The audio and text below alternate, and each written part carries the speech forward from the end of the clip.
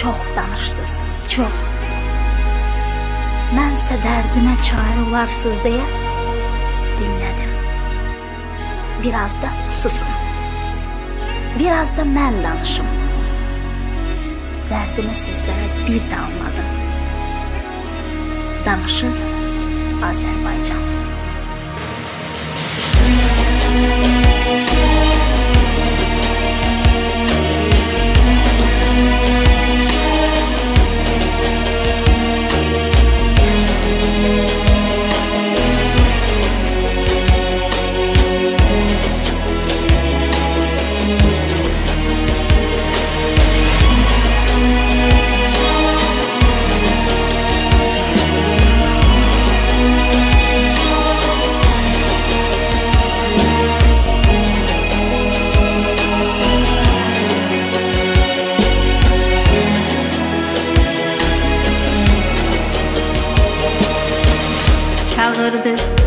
səmala Buludlar məni Dağladı sinəmi Şimşəklər məni Çağırdı səmala Buludlar məni Dağladı sinəmi Şimşəklər məni Dönüb ucalarda bir qartala mən.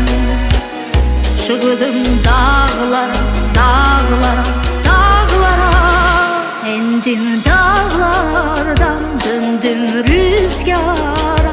Estim denizlerde, denizlerde, denizlerde Ben döndüm tufana.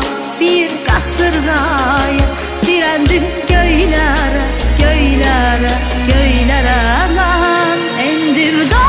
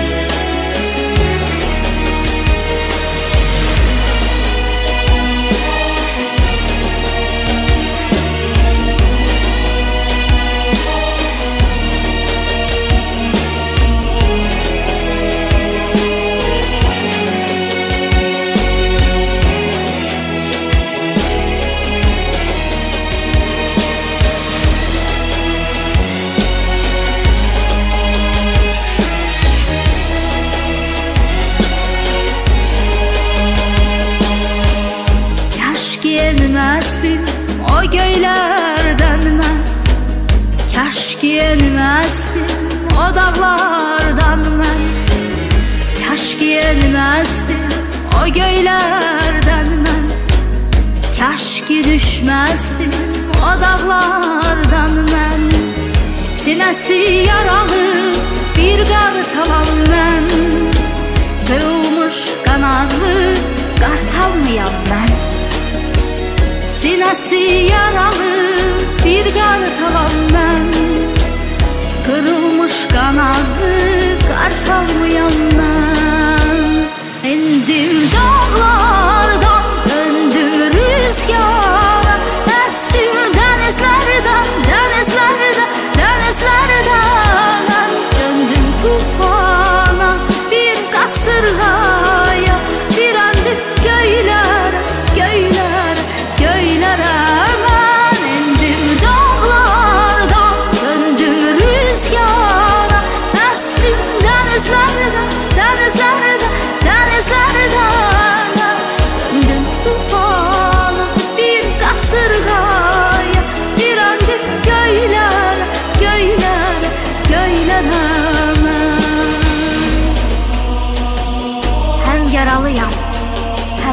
tordayam. Qarabəxt, başı bəlalı, hər an zordayam. İmdad dilədiyim göylərdən də küskünəm.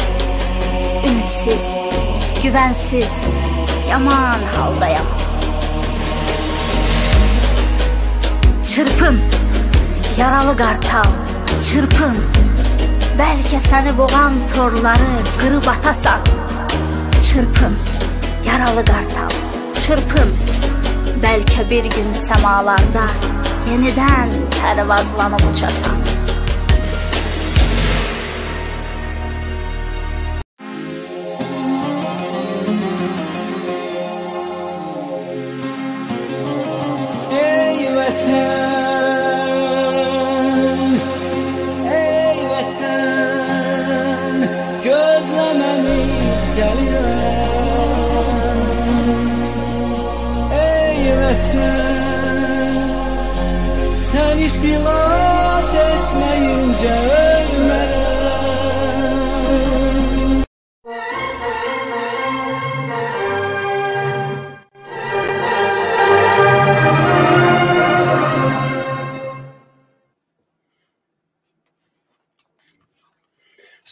Əziz vətənlər, dəyərli dostlar, hörmətli xanımlar və bəylər və salam dünyanın ən səviyyələn, sədaqətli ailəsi olan Azəfidim ailəsi xoş gördük sizi.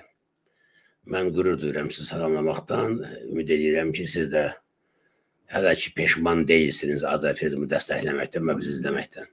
Dostlar, bugün olduqca faydalı bir söhbətimiz olacaq. Mövzumuz ağır mövzudur. Azəfidim ailəsinin səviyyəsinə uyğun və layiq bir mövzudur. Ona görə də bəri başdan pürrəngi çayınızı süzün, sakitcənə özünüz bir rahatlayın kreslonuzda və ailə üzvlərinizin hamısını dəvət edin. Uşaqlı, böyüklü bizim bugünkü söhbətimizə qulaq assınlar. Çünki bugün danışacaqlarımız hər bir Azərbaycanlı körpəsindən tutmuş 7-sindən 70-inə, qadından kişisinə, kasbından varlısına, vəzifəlisindən vəzifəsinə hamıya aiddir. Bu mövzunu hamımızın bilməyi lazımdır. Nədir mövzu? Siz bilirsiniz ki, son 30 ildir Azərbaycanda qeyri-adi hadisələr baş verib. Bunun ən dəhşətlisi tərtər genosididir. Buna qədər Nardaranı bilirsiniz, Tovuzu bilirsiniz, Gəncəni bilirsiniz. Nə bilim, Eurovision məhbusları var. Sən demə orada əziz vətənlər adamlara ömürlük həbs ediblər Eurovision görə. Nəyə görə? Çünki o vaxt deməli ə, bəzi azlıqların paradını keçirmək istəyirdilər Azərbaycanda. Söhbət gedir ə, o nə cinsiyyətini dəyişən, nə bilim, belə adamların ə, paradını Azərbaycan xalqında böyük bir gəncliyi buna etiraz edib ki, qardaş, paradsa nədir, başa düşmədim. Sən o şəxsi həyat deyə bilərsən, otağını bağla, qapını bağla, dombalaq istədir, sən öz işində, o sənin şəxsi həyatındır. Amma sən bunu küçəyə çıxarırsansa, bu sənin şəxsi olmadı artıq. Bu mən xoşuma gəlmir, etiraz edirəm. Mən istəmirəm ki, mənim balama sən öz əxlaqını ya əxlaqsızlığını fərq eləməz, sıraya, sırayasan. İstəmirəm mən bunu. Buna görə əsən vətənlər adamları həbs elədilər ömürlük. Dövlət əmlakını milyardlarla talamağa görə yox ha. Azərbaycan ord ordusunun əskər və zabitinə lon soxmağa görə yox, öldürməyə görə yox, qətiyyən. 5 milyondan çox insanı vətəndən didərgin salmağa görə yox. Sadəcə olaraq öz milli əxlaqını, milli mentalitetini qorumaq cəhdinə görə adamlara ömürlük həbs verildi. Biz imkan olduqsa bu barədə danışacağıq. Ona görə də düşmən nə edir?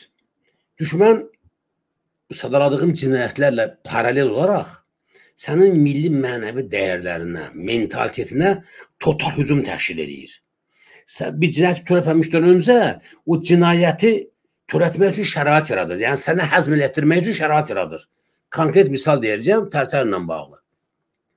Tərtəri törətməmişdən öncə elə bir kütləvi təbliğat aparırlar ki, ilk növbədə e, yaxın bitişik rayonlarda, ərazilərdə, sonra bütün respublika miqyasında Azərbaycan xalqını kütləvi surətdə ən azı 90% inandırırlar ki, burada vətənə xəyanət edənlər olubdu, kütləvi olubdu, hətta e, o nədir İlham İsmail Yaramaz 7-yə 8-i mayda Amerikanın səsinə müsahibə verir ki, sən demə ermənilər gəlib bizə Tərtər şəhərin mərkəzinə. Bunlar necə baş verir? Hansı metodlarla Azərbaycan xalqını və tək Azərbaycan xalqını yox, istənilən bir xalqı belə şeylərə inandırıb özlərinin ağır qeyri-adi cinayətlərinə insanları hazırlayıb inandırırlar. Bu hansı metodlarla baş verir? Bunu bilmək çox vacibdir. Bunu bilmək üçün ilk növbədə biz bilməliyik ki, millət nədir? Xalq nədir? Xalq nə vaxt millətləşir? Və ya da millətçidən, millətdən nə vaxt ümum xalq xalqlaşmaya keçirilir? Milli mentalitet nədir? O necə formalaşır? Milli mentalitetdən ümum milli, deyək ki, ümum xalq mentaliteti keçid necə baş verir? Bu lazımdırmı, lazım deyilmi? Zəruridir, zəruri deyil. Və yaxud da bu milli mentaliteti, milli mənəvi dəyərləri aradan qaldırmaq, ləğv eləmək üçün hansı metodlarla sənə qarşı mübarizə aparırlar? Bəs sən hansı üsullarla o mübarizəyə qarşı dirənik göstərməlisən? Necə eləməlisən ki, milli dəyərlərini saxlaya biləsən? Qoruya biləsən? Bütün bunlara səmətənlər bilmək üçün e, təbii ki, mütəxəssis, bunu bilən bir adamla söhbətə ehtiyac var. Və bugünkü söhbətimizdə bu dediyim 3-4 məsələnin həlli üçün bilirsiniz ki, təbliğat və təşviqatın bu dəqiqə mən o işlə məşğulam. Sizlə biz bir yerdə biz o işlə məşğuluq. Təbliğat və təşviqat aparırıq.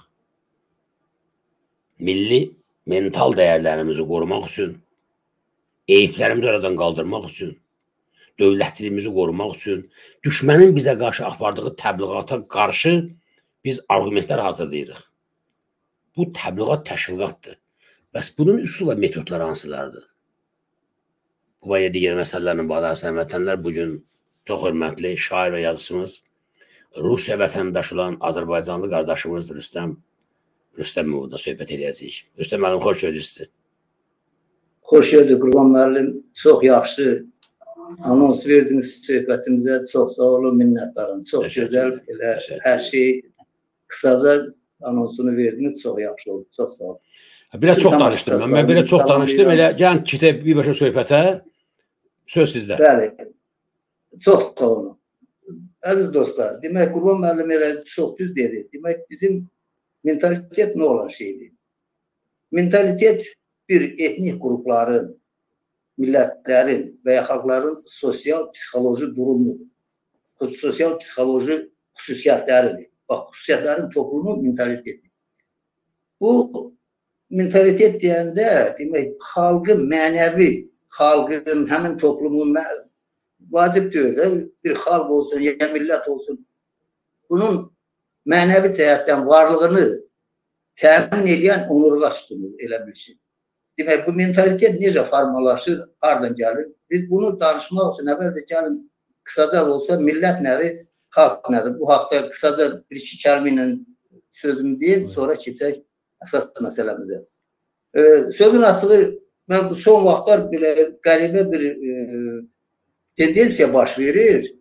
Xalqla millət sözünü eyniləşdirmir. Hətta belə təriflər var ki, xalq nədir yazır smatri e, millətə bax. Döyüş millət nə demək? O da xalqdır. Xalq baxırsan deyir millət nə demək? O da xalq. Amma nə qədər də əcaib olsa Sovet dövründə mən o vaxt oxumuşam. Sözün açığı fəlsəfədənmi, tarixdənmi qəti belə fərq qoyulurdu ki, xalqla millətin anlayışını qatışdırmaq olmaz. Bu biri o birindən doğandır, düzdür. Amma xalq başqa şeydir, millət başqa şeydir. İndi gəlin e, millət nə olan şeydir, xalq nə olan şeydir. E, insanların müəyyən əlamətlər əsasında sabit formalaşmış toplumuna millət deyilir. Müəyyən əlamətlər əsasında sabit formalaşmış toplumuna millət deyilir. Demək, hansı əlamətlərdir bunlar? Bu əlamətlər hansılardır? Ortaq dil əlaməti, ortaq dil olmalıdır, ərazi birliyi olmalıdır, təsərrüfat birliyi olmalıdır. Bir çox ümumi elementlər əsasında formalaşmış zehni quruluş olmalıdır və ona söykənən yaranmış ortaq mədəniyyət olmalı. Bax bu millətdir. Demək e, o ortaq zehni quruluş nə deyilir də? Məsələ gəlin e, türk xalqını götürək. Bu bizim əcdadlarımızı götürək. Biz e, o vaxtlar demək e, köçəri həyat götürən belə at üstündə böyüyən xalq olmuşuq. Demək bu bizim uşaqlıqdan bizdə bu şuur formalaşır.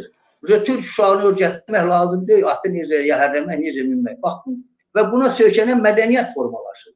Və buradan ortaq mədəniyyət yaranır. Bax bu toplum belə bir toplum buna millət deyilir. Amma xalq nə olan şeydir? Demək xalq geniş mənada xalq anlayışı bir dövlətin ərazisində mövcud olan millətlər birliyi. Orada demək bu dövlətin ərazisində tək bir millət şərt deyil ki, bir millət olsun və 100 100-dən 99 halda tək millət dövlətlər çox azdır. Elə dövlət ola bilməz, o heç dövlət deyil. Orada bir neçə dövlətlər, bir neçə millətlər birləşib dövlət yaradırlar. Bu müəyyən bir ərazidə. Bunun ümumi əlamətləri nədir? Yenə ərazi birliyi, düzdür, təsərrüfat fəaliyyəti, ortaq təsərrüfat fəaliyyəti, ortaq ünsiyyət vasitəsi. Demək, biz nə deyirik? Millətin dili var. Millətin ortaq dili var. Amma xalqın ortaq ünsiyyət vasitəsi əmələ gəlir. Toy, e, başqa sözlə desək, e, bütün millətlərin seç, e, yaratdığı bir ünsiyyət vasitəsi əmələ gəlir. Məsələn, Amerikada ingilis dilidir. Məsələn, bizdə Azərbaycan dilidir. Məsələn, başqa bir e, Rusiyada, Rusiya Federasiyasında Rus dilidir. Bax bu bu ünsiyyət vasitəsi əmələ gəlir. Ayrı-ayrı millətlərin mədəniyyət elementlərinin qarşılıqlı müdaxiləsindən doğan ortaq bir mədəniyyət yaranır. Və bu mədəniyyət bu iki amildən doğan ortaq adət-ənənələr yaranır və hansına ki bütün xalq riayət edir. Bu nə deməkdir? Demək, ortaq bir e, ənənə yaranır və bütün Azərbaycanda yaşayan fərqi yox. Hansı millətin nümayəndəsi olursa olsun, ümumi Azərbaycana xas olan müəyyən kəmiyyətlər və keyfiyyətlər var ki, ona hamı riayət edir. Bu yaxınlarda bir dənə Qazaxstanlı, bir dənə Rusun maraqlı məqaləsini oxudu. O deyir ki, mən deyir, ömrü boyu deyir, mən Qazaxstanda yaşamışam və özümü həmişə Rus hiss eləmişəm. İndi deyir, Rusiyaya gəlmişəm müvəqqəti. Mən deyir, elə bilirəm Qazaxam. Deyir, bu da hamısı, mən özümü Qazax hiss edirəm, deyir, həqiq, sözün həqiqi mənasını deyir və bununla fəxr edirəm ki, mən belə hiss edirəm özümü. Çünki deyir, mən baxıram burada tamam başqa adamlar. Qurban müəllim, bilirsiniz nə var? Mən buraya gələndə, bunlar o 90-cı illərdə buraya çoxlu Azərbaycandan adamlar gəlmişdi, Ruslar. Onlar burada özlərini yad hiss edir. Bu saatda onlar özlərini burada yad hiss edirlər. Nə yerlər onları qəbul edirlər, nə onlar yerləri qəbul edə bilmirlər. Bax bu Demək, orada o xalq formalaşması prosesi gedirdi, o vaxt gedirdi bizdə hələ. Bu məsələdə bu bizim xalq sözün həqiqi mənasında bizim ölkə çox belə yaxşı qabağa getmiş bir ölkədir. İndi millətin e, mentaliteti necə formalaşır? Demək, ümumi milli mentalitetdən ümumi xalq mentalitetinə keçir. Biz dedik ki, orta də millət nə olan şeydir? Onların əsasında psixoloji bir durum yaranır millət üçün, ümumi millət üçün e, mədəniyyət elementləri yəni bu millətin. Amma sonra biz keçirik oje mənəvi millət üçün mənəvi dəyərlər yaranır da. Məsələn, Azərbaycanda yaşayan Azərbaycanlılar üçün bir mənəvi dəyərlər var. Bu təmiz Azərbaycanlılara xas olandır. Məsələn, Ləzgilər üçün bir elə mənəvi dəyərlər var ki, onlar üçün xasdır. Talışlar üçün bir elə mənəvi dəyərlər var ki, onlar üçün xasdır. Və onlar heç sürə onu keçməz. Və bunların bunların e, qarşılıqlı bir-birinə təsiri nəticəsində Azərbaycan xalqının ümumi bir ümumi xalq mentaliteti yaranır. Və biz indi demək e, bir şey deyim Qurban müəllim sizə mən heç bir ən demək ən dünyanın ən güclü orduları həmişə çox millətli olan xalqın ordusu güclü olur. Etnik əgər bir etnik qrupdan təşkil olunmuş ordu varsa, o ordu zəif ordu olur. Ordu zəifdir həmişə. Bunun səbəbi nədir? Səbəbi nədədir? Orada da demək səbəb onda ki, bir-birinə baxır. Bir-birinə baxır. Bir-birinə bir-birinə ürək dirək verir və belə necə deyirlər, mən indi bu qardaşımın yanında mən özümü pis göstərmir, onun yanında. Amma elə ki, hamısı, hamımız biz məsəl üçün də elə ki, birimiz deyəndə ki, hə, buradan bir canavar gəldi, qaz, qaz hamımız qaçacağıq. Məsələ Türk olaraq, məsəl üçün deyəndə. Hə, hə. Amma içinizdə biriləri tapılsa deyəcək, ə, dayan can qardaş, nə qaçma, ə, dur burada. Xəncəri vermə. Onda bu işlər də dayanacaq. Bax bu söhbət buna gedir. Nəyə görə Azərbaycan ordusunda bu 44 günlük müharibədə bir dənə fərari, bir dənə qorxaq adam olmadı. Amma ermənilər 10 minlərlə Ferrari verdilər. Nəyə görə? Bax, buna görə ki, bizim bax bu xalq çox millətli xalqıq biz. Bax bu orduya, orduda müharibə eləmək üçün ən zəruri şərt xalqın çox millətli olmağıdır. Dövlətin çox millətli olmağıdır. O dövlətin nə tərəflər yaraşıqlıdır da bax belə sözün həqiqi mənasında. Bilmirəm sizin xəbəriniz varmı? Xalça toxumaq bilirsiniz nə olan şeydir? Mən özüm uşaq vaxtından e, Rüstəm müəllim bizim evdə rəhmətli anam Seyid qızı e, xalça toxuyardı. Atam Allah rəhmət eləsin. Əmək biz evi görmürdü deyə biz qış aylarında xüsusilə bütün gecəni xalça toxuyardıq. 4 metr enində, Elə... 2 metr, 4 metr uzunluğu, 2 metr enində hazır xalçalar. Mən də məşğul olmuşam, ona görə soruşdum. 4 gündən bir bir xalça kəsirdik. Xalça kəsmək deyirlər ona. Hə. 4 maksimum 5 gün. Xalça hazırdır, satırdı atam. Bu yəqin Naxçıvanda çox evlərdə bizim xalçalar. Mən nəyə görə xalça məsələsini gətirdim? Qurban müəllim, məsələ Azərbaycan ərazisini təsəvvür edən bir dənə xalça kimi də. Burada o xalçada ayrı-ayrı göllər olur. Ona göl deyirlər, o yaraşıqlı. Bəli, bəli. Hə, o göllər, demək hər xalq orada bir göldür elə bil ki. Azərbaycan ərazisində yaşayan hər xalq orada bir göl. Sən gözəlliyə müxtəlif bəzi göllərdədir, müxtəlif. Bəli, ortada böyük göl olur, qıraqlarında xırda göllər əmələ gəlir. O göl. İndi sən təsəvvür elə, o gölün birini kəsəsən, o nə olasın? Xalça yarımsız, xalça yaramaz oldu getdi. Bax Azərbaycan xalqının ən böyük dəyəri budur ki, Azərbaycan xalqının mən xalq deyirəm, yəni hamısı orada oraya bütün millətlər daxildir. Ən böyük dəyərimiz elə bizim ondadır ki, biz onu yarada bilmişik, saxlaya bilmişik. İndi Allah qoysa davam eləyərik.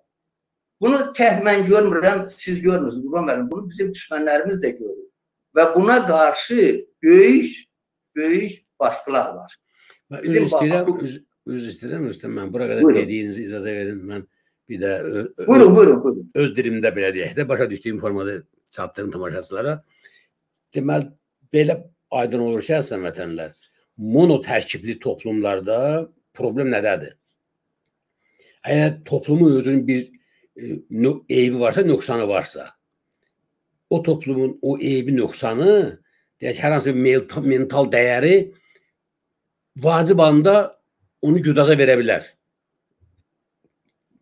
Bunu amma başqa bir toplumun fərqli mənəvi dəyəri, mentaliteti məhdudlaşdıra bilirsə, təhlükə soğuşur. Bəli. Rüstəm müəllim izah eləmək istəyir ki, məsələn ermənilərdə mono tərkibdir deyə, deyək ki, belə deyək də, məsələn 100 nəfər erməni yığışıbdı, hamısının xassəti, xarakteri eynidir. Bizdə bir söz var, deyək ki, erməni qan görürsə qaçıra. Çətini bir erməni orada belə qabağına bir bazda qan atıncadır da. İndi də mən başqa söz demək istəmirəm, bir qanınızı qaraldım. O, o dönüb qaçırsa hamısı qaçacaq. Çünki bu millətin mental dəyərləri belədir. Xarakteri belədir, qandan qorxar. Erməninin əslən vətənlə bilərsiniz, vətənə bağlılığı yoxdur. Niyə? Çünki ermənin vətəni olmuyor heç bir vaxt. Yalandan nə qədərsə min illərlə də uydurma tarix yaratsan ki, aynen dənizdən dənizə, üç dəniz arası, böyük Ermənistan boş şeydir. Boş şey heç bir vaxt olursa onun qanına işlədə bilməyəcəksən, necə işlədə bilmirlər. 300-400 ildir çalışırlar ki, Ermənistana gəliblər, Qarabağa deyək ki, İrəvana gəliblər 200 bundan qabaq. Zorla istəyirlər beyinlərə yeritsinlər ki, min ildir bunların tarixdə dövlətçiliyi var, amma yerdə bilmir. Niyə? Çünki erməninin milli mentalitetinə görə vətən anlayışı, vətən sevgisi yoxdur. Vətənə bağlılıq yoxdur bizimki kimi. Fərq bundadır. Buyurun. Çox sağ olun. Hə. Demək, e, Quba müəllim, mən dedim ki, bizim bu mentalitetə qarşı, bizim bu xalq, bir xalq olaraq, mən demirəm tək, tək millətdə, xalq olaraq bizim bu ümumi varlığımıza qarşı, mental varlığımıza qarşı böyük ideoloji baskılar var. Demək, bu vəbşə ümumiyyətlə indiki dövrdə, indiki dövrdə müharibənin iki qolu var. Müharibənin iki qolu var. Biri qızğın qolu, biri ideoloji təb təbliğat qolu. Soyuq müharibə. Qızğın qolu qızğın müharibə, onu qoyaq qırağa qalsın. Biz bu gün ideoloji müharibədən danışacağıq. Demək, ideoloji müharibənin məqsədi nədir? Qarşı tərəfdə olan xalq, ölkənin xalqını, millətini, ordusunu demoralizə eləmək. Demək, mənəviyyətini sındırmaq, onu müharibə başlamamışdan, qızğın müharibə başlamamışdan belə onu məhv eləmək mənəvi cəhətdən ki, ya qorxsun, ya dağılsın, ya etsin, ya belə bir panika yaratmaq da belə deyil. E, bu demək, bu təbliğatın Roməlim çox yox, üçdə dənə növü var təbliğatda. Üç təbliğat növü var. Birincisi, ona ağ və yaxud da şəffaf təbliğat deyirlər. Bu nə olan şeydir şəffaf təbliğat? Bu demək real fakta söykənən, real hadisəyə söykənir və və hadisənin demək məlumatın ötürülməsində heç bir hüquq pozuntusuna yol verilmir. Mənəviyyat, əxlaq normalarına tam riayət olunur. Açıq nə var onu deyirsən konkret. Məsələn, bu hafta müəyyən radiolar, televiziyalar var Azərbaycanda. Mən adını çəkə bilərəm, istəmirəm ki, yarımçılıq olsun. Var. Elələri, amma başqaları da var, onu da deməyəcəm, eybi yox. Yəni bərabərlik saxlamaq. Yəni belə deyək də, real faktlara söykənən təmiz faktlara söykənir və mənəviyyatı demək, əxlaq normalarını pozmadan məlumatı verir. Məsələn, ikinci ikinci deyəndə indi bir ikinciyə məsələ gətirəcəm, bu birinci aydın olacaq nə, nə demək istəyirəm. İkinci e, ona e, rus dilində seri deyirlər. Bizdə ala şəffaf, yarım şəffaf, yaxud da yox, yox, yox, yox, boz təbliğat. Yarım şəffaf yox. Bizdə boz mətbuat deyirlər, ha, boz mətbuat. Hə, serada, sera. Ser, ser, oradan gəlir o boz təbliğat. Hə, boz təbliğat. Demək, bu boz təbliğatın xüsusiyyəti nədəndir? Məsələn, o da real faktdan danışır. Real faktdan danışır. Faktın ötürülməsində hüquq qaydalarına riayət edir tamamilə. Amma mənəviyyət baxımından, əxlaq baxımından müəyyən pozuntulara yol verir. Bilərəkdən. Məsələn, bir dənə deyək ki, yol qəza hadisəsi baş veribdi. Mən də jurnalistəm. Məni göndərirlər, get orada nə olub, yaz, gətir, reportaj hazırla. Mən gəlirəm ora, hər nə var, şəklini çəkirəm, göstərirəm, danışıram. Gəlib danışanda mən orada bəlli olur ki, e, demək, e, dövlət inspeksiyasında, avtomobil inspeksiyasını e, sürücü özü yox, orada yığışmış adamlar çağırırdı. Bu indi orada adam yaralanıb, ona kömək eləmək məqsədilə başı qarışıbdır. Bu çağırmaq istəyəndə buna deyirlər ki, çağırmışıq lazım deyir, gəlin. Skoru da çağırıb. İndi mən materialı necə təqdim edirəm? Mən axı e, vicdanımı itirmiş jurnalistim də belə deyək. Bəs orada deyəsən sürücü qaçıb gizlənmək istəyirdi, imkan verilmiş dövlət yol inspeksiyasını orada olan e, şahidlər çağırıbdı. Fakt düzdür. Şahidlər çağırıb, amma bu başqa cür olub axı. Başa düşürsünüzmü? Və hətta belə bir şahid kimsə orada dedi ki, kimsə dedi ki, yəni mən uje yadımdan çıxdı, görə bilməm. Güya ki, sürücü sərxoş olub. Mən bu nəyə görə? Bəlkə mən sürücü əzəldən tanımışam, o məni görüb tanımayıb, amma mən onu tanımışam, bundan qərəzliyim var. Demək, burada mən mənəviyyət qaydalarını pozuram material düzdür, hadisə baş veribdi, necə olub hamısını danışıram. Balaca demək haramzadalıq eləyib mən bu işi olduğu kimi gətirmirəm. Bax bu pozduq bunda özünü göstərir. İndi birinci aydın oldu mu? Nə? Birinci ilə bax. Aydındır. Deməli təbliğatın o şəffaf belə deyək də saf təbliğat, real faktlara söykənən, əxlaq çərçivəsində verilən məlumatlardır. Və mənəviyyat qaydasını pozmursan. Amma boş təbliğatda mənəviyyatla mənəviyyatı qurban verirsən. Mən indi pul müqabilindəmi, nəyəsə mən satılmışam, kiməsə mən gəlib bax belə bir reportaj verirəm. Özə burada mənə heç kim heç nə deyə bilməz. Bax, iş vəziyyət bax belədir. Başa düşürsünüz bunu mən? Kim nə deyə bilər? Həqiqətən də qayını çağıran başqası olubdur. Amma bu necə olubdur? Bunu mən gizlədirəm. Kimsə dedi ki, o sərxoş olub. Bunu da ki, nə eşitdim də dedilər mən də eşitdim. Başa düşürsünüz? Buna demək, e, demək, e, Bunu tutmaq mümkün deyil də. İndi üçüncü gəlir Üzr istəyirəm, üzr istəyirəm bu bu təbliğata uyğun öz şəxsi həyatımdan deyəcəm bir dənəsin. Birincisi də 5 sentyabr 2020-ci ildə mənim evimi söyməmişdən qabaq mən təbliğatın bu növündən istifadə olundu. Göstərdilər mənim evimi, eyni zamanda başqa villalar göstər. Getdilər Allahşı Paşazadərin Rövnəq Abdullayev kimi yaramazın villasını göstərdirib onun yanında. Deyir qurbanın bu məhəllədə villası var, nə, nə var? Doğrudan da o məhəllədə mənim evim var. Doğrudan da mənim balalarımın evi var. Amma Demək hər şey bax bu seri təbliğat. Bax görürsüz sizin öz gözünə değil mi? qatdılar ki, 20 dənə obyekti var, hektarların torpağı var. Hə. lazım deyil. İndi hələ indi siz qara təbliğata da rast gələcəksiniz belə getsə. Başlayıb bu qara təbliğat başlayıb. Qara təbliğatlı olan şeydir. Qara təbliğat Qurban müəllim tamamilə yalan məlumatlardır. Tamamilə yalan. Heç bir hüquq norması yoxdur burada bunun götürülməsində. Mənəviyyat vəbşi əxlam yox. Mənəviyyatdan vəbşi söz gedə bilməz. Bütün yalan üzərində qurulur. Demək bu Gebelsin adına bir ifadə yazırlar. Bilmirəm indi o deyib deməyib. Demək e, yalan nə qədər, təbliğat yalan nə qədər güclü, həyasız olarsa bir o tez inandırıcı olur. Elədir, elədir. İndi yalan nəzəriyyəsidir. Bilmirəm o deyək demir, amma bax belə bir ifadə gəzməkdə. Təbliğ bu təbliğatın hər üç növü, hər üç növü Qurban müəllim həm topluma tətbiq oluna bilər. Topluma da xalqa qarşı ayrı-ayrı və həm də fərdi bir şəxsə qarşı tə- tətbiq oluna bilər. İndi gəlin bu təbliğatların e, demək həyata keçirilməsi vasitələrindən danışaq. Bir dəqiqə ora keçməmişdən öncə Rüstəm müəllim. Sizcə bu Buyurun. təbliğatların hansı daha bu vasitələrin hansı daha güclü və asandır? Qara təbliğat, Niyə? qara təbliğat. Niyə? Qara təbliğat bilirsiniz Qurban müəllim, onun heç bir Alo, Qurban müəllim, məni eşidirsinizmi? Sizi bütün dünya Azərbaycanlıları heç təmin yox. Qurban müəllim, demək qara təbliğat ən ən demək mənəviyyəti ən yüksəkdə olan şəffaf təbliğ- təbliğatdır. O heç şəffaf təbliğatdır. Amma qısa müddətdə məqsədə çatmaq üçün, qısa müddətli məqsədi həyata keçirmək üçün, aldatmaq üçün kütləni, xalqı, milləti, ordunu qara təbliğatdan istifadə olunur. Kap necə kap piçəllə nə yapırlar da belə rus demişəm.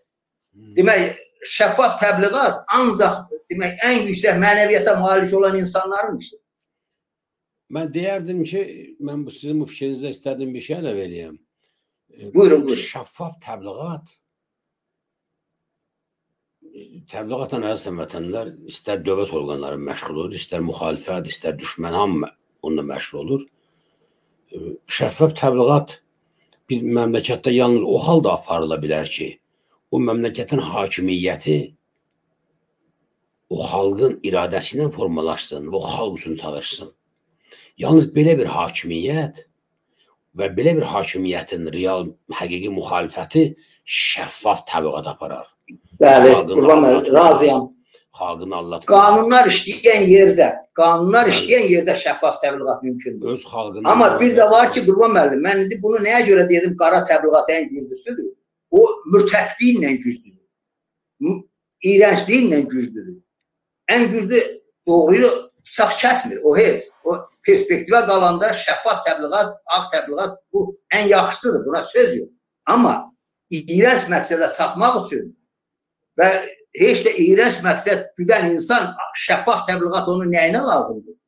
Mən bunu demək istəyirdim. Qurban müəllim, bilmirəm fikrimi çatdıra bildim mi? Yo, tamam gözəl çatdınız. Mən sadəcə misallarla istəyirəm tamaşaçıya aydın olsun deyə əlavə eləyəm bəzi şeyləri. Bəli, bəli, çox gözəl, çox gözəl. Mənə Qara- kömək lazımdır. Qurban müəllim. Qara təbliğat əziz vətənlər aparmaq üçün informasiya toplamağa vaxt itirmək, pul itirmək lazım deyil. Otursan evdə, baxın ha, şəffaf təbliğat aparmaq üçün bayaqları e, misal çəkdi Rüstəm müəllim ki, bir avtoqəzadan da avtoqəza haqqında bir məlumat vermək üçün getməlisən hadisə yerinə.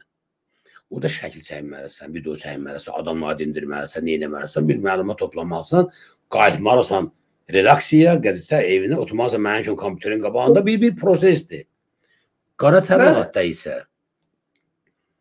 o qara PR deyirlər politologiyada.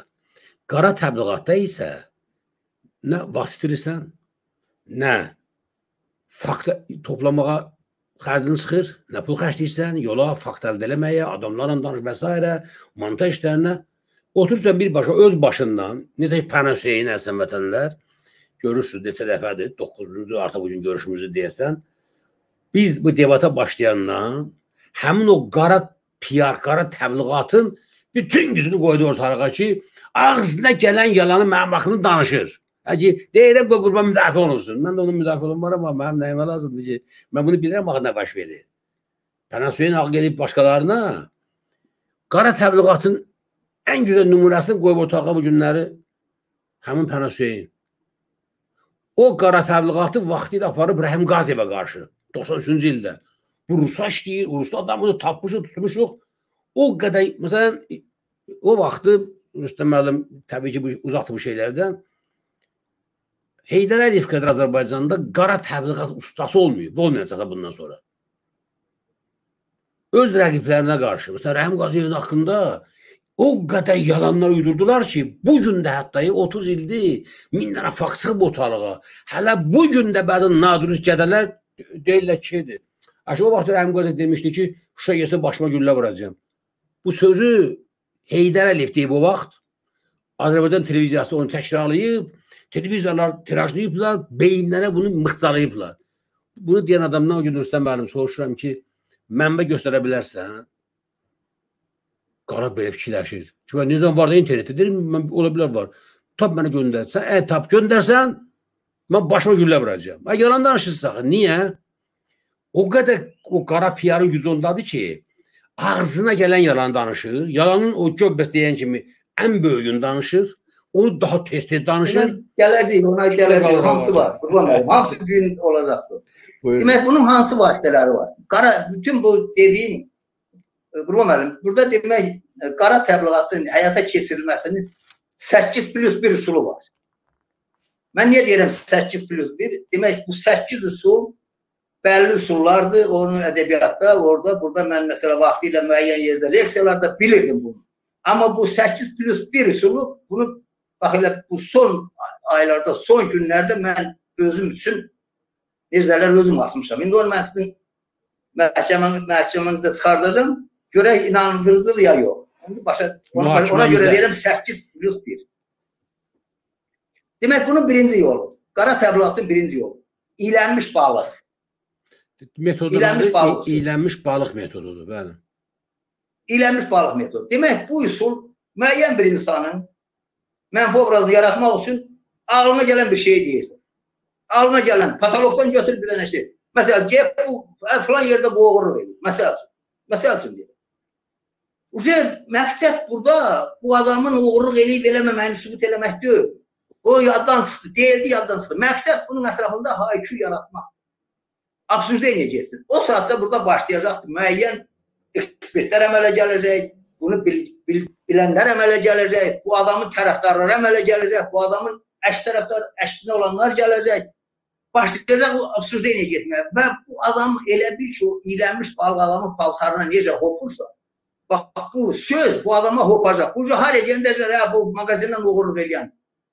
Biləcək yox yandı. Söhbət ondan getmir ki, bu adam oğru oğram. Söhbət ondan geç o absürdə. Bu yazıq bu bilmir özünü haraya, neynəsin. O haraya geç. Laf buna desələr də ki, "Ay, yox oğurlamır, fərqi yoxdur. Bu adam üçün xəcalət çəkir. Bu adam üçün dünyada təcrübə olmuş. Bax bu qara təbliğatın əsas növü budur. Özü bunu ən çox yerdə, ən çox yerdə demək bunu hadisə patologdan götürülür. Patologdan. Prosta ağlına gəldi deyirsən. Şö, heç bir şey, heç bir dəlil, sübut, heç bir şey. Səndən heç nə tələb olunmur. Yayma yolundakı cəmaət özü yayacaq. Sən elə bu şayəni bura. Bax bu.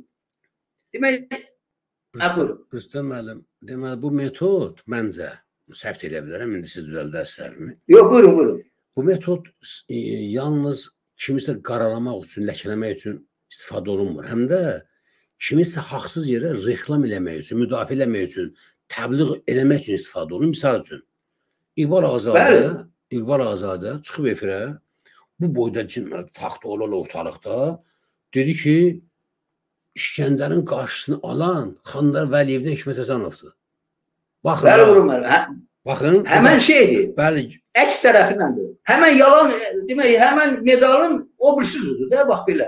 Onu siz yaxşı bilirsiniz, o hadisələri siz istedat eləmisiniz, ona görə mən prosta mən metodu, vasitəni deyirəm. Siz indi onu tətbiqini siz siz bilirsiniz. siz deyil, mən misallar gətirəcəm ətrafımızda Hə, tələffüz daha demək- aydın olsun. Burada ən yaxşı şey nədir? Burada demək fərdi bir insanlar üçün, fərd müəyyən bir fərdə qarşı bu qara təbliğatı göstərəndə demək ən yaxşısı odur ki, onu hələ bir desən, "Hə, bu faşist qrupuna aiddir. Ya nə bilim bu plan bir təşkilatın üzvüdür. Harda bədbaxt oluyorsun təşkilatı eşitməyib də bəlkə. Sən sözümü deyə qalan işi cəmaət özü görəcək. Demək məqsədə çatmısan. Əgər bu iş haqqındakı demək danışıqlar başlayıb, sözləşmə, mübahisələr başlayıb, söz, məqsədə çatmısan. Bu adam uje sən onu siyasi xadimi vurmaq istəyirdinsə, orada vurmusan. Onun müəyyən bir iyrənc işlərini apravdat eləmək istəyirsənsə, eləmirsən. Bu uje məqsədə çatmısan. O yarısı elə desin, yarısı belədir. Fərq o fərq eləməz. İkinci metod qurban müəllim. İkinci metod İkinci metoda keçməmişdən öncə tələsməyin. Biraz asta-asta siz Rüstəm müəllim o qədər ağır bir mövzudur bu mövzu. Bunu biraz ahəstə-ahəstə eləmək lazımdır ki, Hə, buyurun, buyurun. beynindən Mən qorxuram çata bilməyək, ona görə deyirəm. Narahat olmayın. Lazım gəlsə 5 saat oturacağam mən burada. Onsuz da 2 saat bundan qabaq olmuşam Pənas Hüseyin boş-boş söhbətlərində vaxtımız gedib. Bu vaxtım. Hər halda burada biz bu səviyyəli tamaşaçı auditoriyası ilə danışanda enerji alırıq orada. Mən, mən bu dəqiqə oturmuşam, tamaşaçının enerjisi hiss eləyirəm.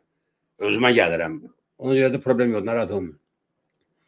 Deməli, bu qara PR-la bağlı, qara təbliğatla bağlı mən dəfələrlə əslən vətənlər e, sizə demişəm efirdən ki, yalan və böhtana qarşı müdafiə olunmağa cəhd eləmək uduzmaq da oyunu. Həzrəti Əli əleyhissalamın gözəl bir sözü var. Deyir, düşmənin istifadə etdiyi mübarizə metodundan istifadə eləmək mübarizə vasitəsindən döyüşü əvvəlcədən 50% uzmaq deməkdir. Əgər Bu metod müdafiə metodunu dəyişirdim. Axırda hamısından necə müdafiə olunmaq o var, onu dəyişirdim. demə, yo mən Həzrət Əli deyib də burada indi bizdə sizdən qabaq Bəli, deyibdi. bəli, yox. Ona görə də mən eləsin. yer deyirəm. Çox gözəldir, yox. Çox yerində oldu. hə. Diqqətlə bir şey verin. Bu nə deməkdir bu? Misal üçün mən jurnalistəm, qəzetim var, televiziyam var. E, Bu sahəni əla bilirəm. Rüstəm Rüstəmov isə şair, yazıdır, sadə bir ziyalıdır, təmiz bir insandır. Birdən-birə mən çıxıram efirə, başlayıram Rüstəm Rüstəmovun haqqında ağzıma gələn yalanlara, böhtanlara, o nəm narkomandır, o qumarbazdır, əxlaqsızdır deyirəm. Əgər Rüstəm Rüstəmov o da mənimki kimi özünü televiziyada necə ki mən ona qarşı elədim və ya da qəzetdə necə ki mən ona qarşı eləmişəm müdafiə olunmağa cəhd edəsə artıq 50% uduzub. O nə etməlidir? O nə etməlidir? Sakit məni verməlidir məhkəməyə. Məhkəmə mübarizəsi o vasitə mənim deyil. O Rüstəm Rüstəmovun vasitəsidir, mübarizə vasitəsidir. Orada mən artıq uzacağam. Çünki mənim əvvəlcədən hazırlaşdığım, gözəl bildiyim bu budur. Te- Televiziyadır, qəzetdir, nədir, nədir? İnformasiya burdadır. Onun yaxşı bildiyi mübarizə vasitə məhkəmədir. Yox, əgər o başda, yox mən qumarbaz deyiləm. 10 adam bunu eşitsə, ikisi Kifayətdir biri desin ki, qumarbazdır İkisi deyirlər. 100 Yox. faiz inanacaq ki, hə, bu qurban biz tanıyırıq, bu düz danışan kişi deyir, ana o qumarbaz olmasa Rüstəm deməz. Üçü Bəli. mütləq şübhələnəcək. Beşi inanmaya bilər.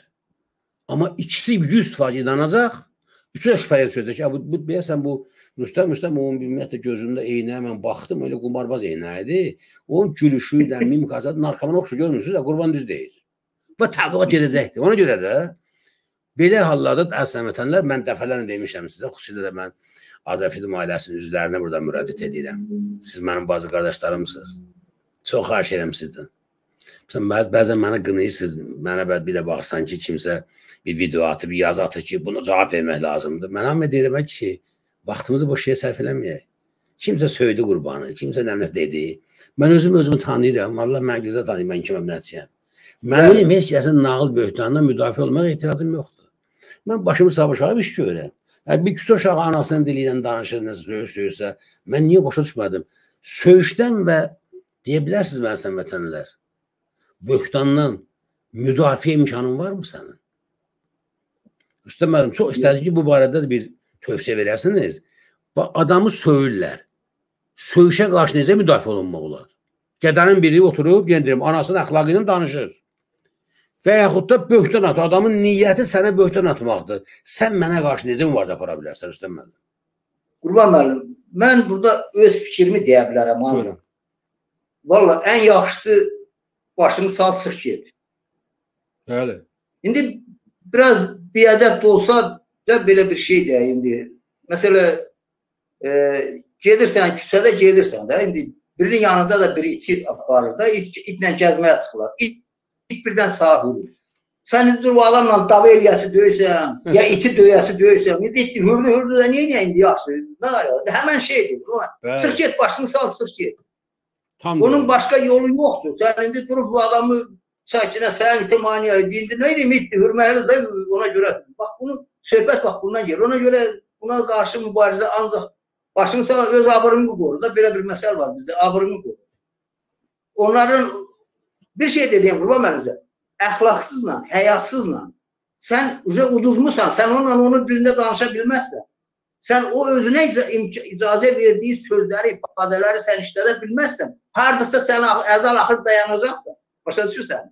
O saat deyəcək qumarbazsan, sən deyəcək yox sən qumarbazsan. O saat deyəcək nə bilim e, araq sən sən sən deyəcək yox sən araqsan. Baxsan istəyirəm sizə məsəl sizə elədir, öyrətmək. elədir, elədir, elədir. Ümumiyyətlə mən ümumiyyətlə deyirəm siz bilirəm Allah inançlı adamsınız. Mən onu sizdən misal götürüm məsələn.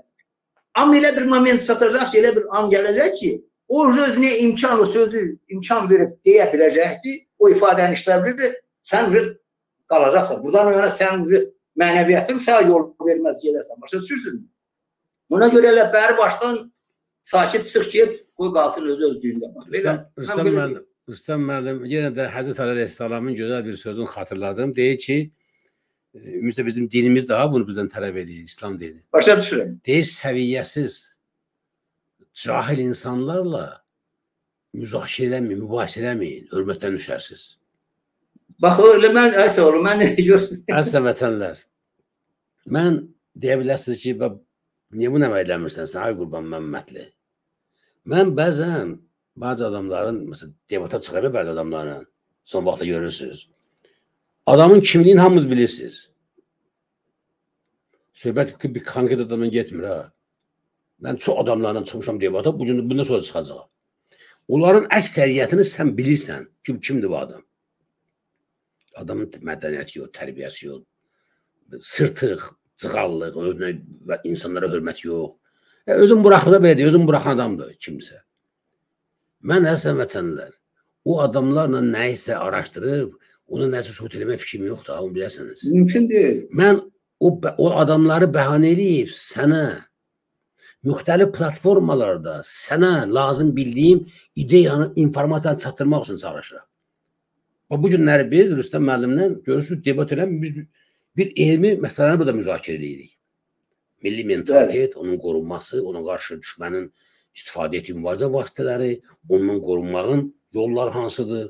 Təbliğat nədir? Təbliğatın metodları, üsulları nədir? Biz bunu araşdırırıq sizə. Hər ikimiz sizə müsbət nələrsə verməkdir. Niyə? Çünki biz sizi sevirik. Çünki biz sizi özümüzə qardaş bacı bilirik. Rüstəm bəli, bu millət bu vətən Həqiqətən yolunda özünü qurban verməyə hazır olan bir ziyalıdır. Ona görə çalışır ki, bu günə qədər oxuyub öyrəndiyi, əxs etdiyi dəyərləri sizinlə bölüşsün, millətinə versin. Ona görə mən bu gün oyundan bir yerdəyəm və ləzzət edib söhbət Rüstəm müəllimlə. Sabahya görsəm ki, bir səviyyəsi bir axmaq bir adamdır. Görsəz ki, mənim mən o adamla da söhbət edirəm, bir şey biləsiniz. Mənim niyyətim o adama nə isə söhbət eləməksə diqqətiyəm. Mən belə fikrim heç vaxt olmuyubdu. Heç vaxt. Sənə nəsə demək istəmişəm, sənə nəsə çatdırmaq istəmişəm. Ona görə də davam edirik. Keçdik Hə. Demək ikinci. ikinci vasitə, ikinci üsul, ikinci üsul böyük yalan üsulu. Demək burada elə bir e, dinləyiciyə, tamaşaçıya maksimum dərəcədə inan, inanma, inanmaq mümkün olmayan qlobal bir yalan danışılır.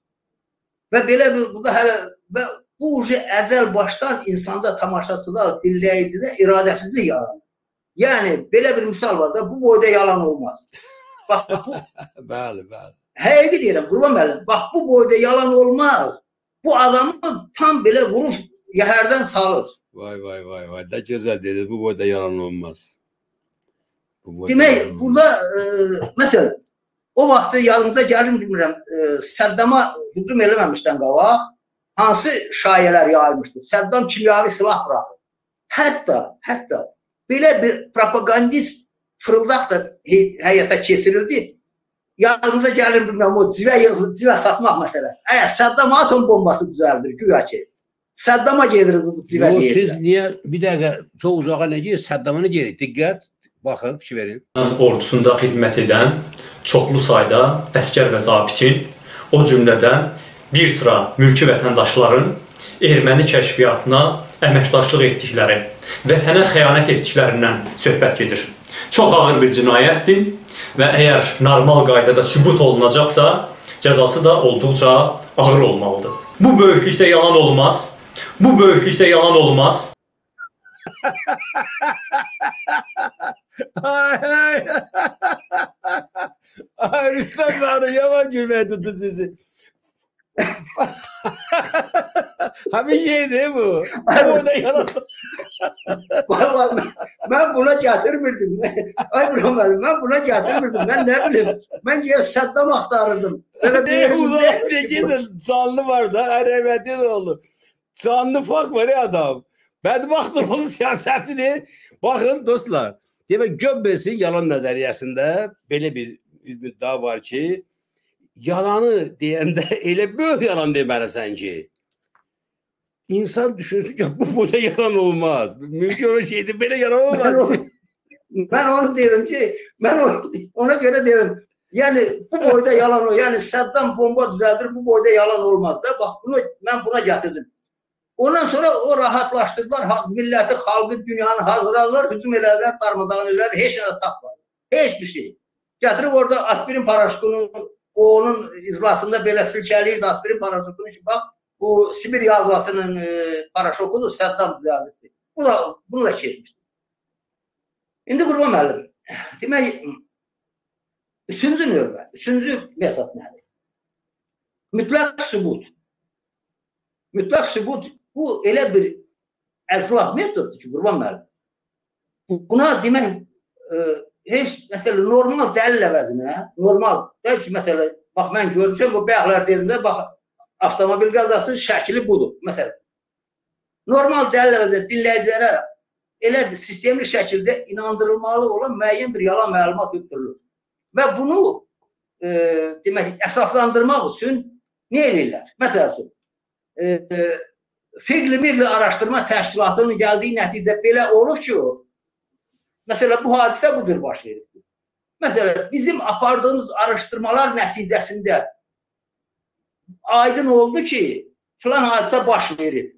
Ə, siz kimsiniz? Bilmirsiniz, bu Fiqli Milli Təşkilat, bir mənim təksini geyindirir, gətirir, otuzdurur. Bu da Fiqli Milli Təşkilatının güya ki. Araşdırma. Adını da qoyur Şərq-Qərb Mərkəzinin nə bilim təhlükəsizlik üzrə inspektoru, nə bilim nəyi. Bax belə bir beləncə adamları tapıb gətirirlər. Bunlar da başlayır ağzına gələni danışmağa. Onların danışıqları hamısı belə bir orada bəzən belə ifadələr də işlənir. O e, bazburutlu görünməsin, rəhmətli Koroğlu'nun sözü olmasın. O bazburutlu üçün mən hələlik adlar çəkmək istəmirəm. Burada böyük hadisələr var, böyük adamlar var. Lazım gələndə ad çəkirəm. Bu Ayşə, ay gibi qafil. Görən kimi deyir. Cəmaatı heç kəsi demir, yalandır hamısı, jobdur. Tamam, 100% jobdur. Demək bax bu mütləq sübut odur ki, o ağılına gələn yalandan təşkilat düşünürlər, yalandan e, sənətkar tapırlar da belə e, nə deyirlər ona? Şahidlər. E, şahidlərdən başqa yox, yox, o gəlir çıxış elər ekspertlər. o Azərbaycanda ən çox tətbiq olunan metod budur. Bir adım qoyubdu misal üçün e, fakta deyək də öz apardığımız işdən. Təhlükəsizlik ekspert məsələn. Ay qazanarlar, təhlükəsiz ekspert nə olar? Deyirsin nə olar? Biz verəyik verə. Əslən vətənlər, bugünkü mövzumuz həqiqətən də e, çox belə faydalı bir şey. Həyatla bağlı mövzudur dəsən müəllim. Xahiş edirəm hamı diqqətlə qulaq assın. Misal üçün indi adam çıxış eləyir. Bu da yalnız bir hərbi hissədə bu qədər əskərin və zabit heyətinin casus kimi ifşa edilməsi fövqəladə dərəcədə mənhus hadisədir. İndi yazıq yazıq xalq gəl inanma da bu şeyə. Gəlmə zahidə. Adam media kapitanı kimi tanınıb, sırınıb cəmiyyətə. Gəlin sən buna inanma. İnanma gör necə inanmırsan buna. Və yaxud da deməli buna necə inanmayasan Ərsən vətənlə? Baxın. Azərbaycanın xüsusi xidmət orqanlarının keçmiş polkovnik leytenantı İlham İsmaildir. Münasibətiniz necədir buna? Diqqətə fikir verin. Dövlətlər belə bir-birinə qarşı, hətta belə yaxşı dostluq münasibətləri orada olanda da kəşfiyyat işləri görür. Və bu Rüstəm müəllim ki deyir mütləq sübut. Mütləq sübut bu, bu nədir bu? Bunun mahiyyətcə. Söhbət real faktdan getmir. Bir yalanı deyirsən, sonra da mütləq sübut kimi canlı insan gətirirsən ora. Bu ekspertdir, bu mütəxəssisdir, bu ictimai rəydir, ictimai rəy sorğusularıdır. Bir də baxsan ki çıxır efirə, o bəli, dedim. Elə olur. Mütləq sübut budur da, bəli. Hadisə yoxdur, amma onu Yəni sübuta gətirən adamlar var, amillər var, bax bu var. Yəni ictimai rəyi, ictimai rəyə səmə çərçivəyə salır. Sonra gətirir sübutunu özün qoyur ortalığa ki, budur. İlham İsmail ekspert deyir ki, TƏTƏ-də vətənə xəyanət olubdu. Bu da Əli Kərimli siyasəti deyir ki, bu boyda yalan olmaz. Bu da Qəlmə Zahir jurnalist deyir ki, olubdu. Bitdi. Bəli. Və başqa sübut deyir, buna deyir mütləq sübut. Bu metodun adı mütləq sübut metodudur. Bəli, qurbanlar. İndi dördüncü metod. Namalum qəhrəman.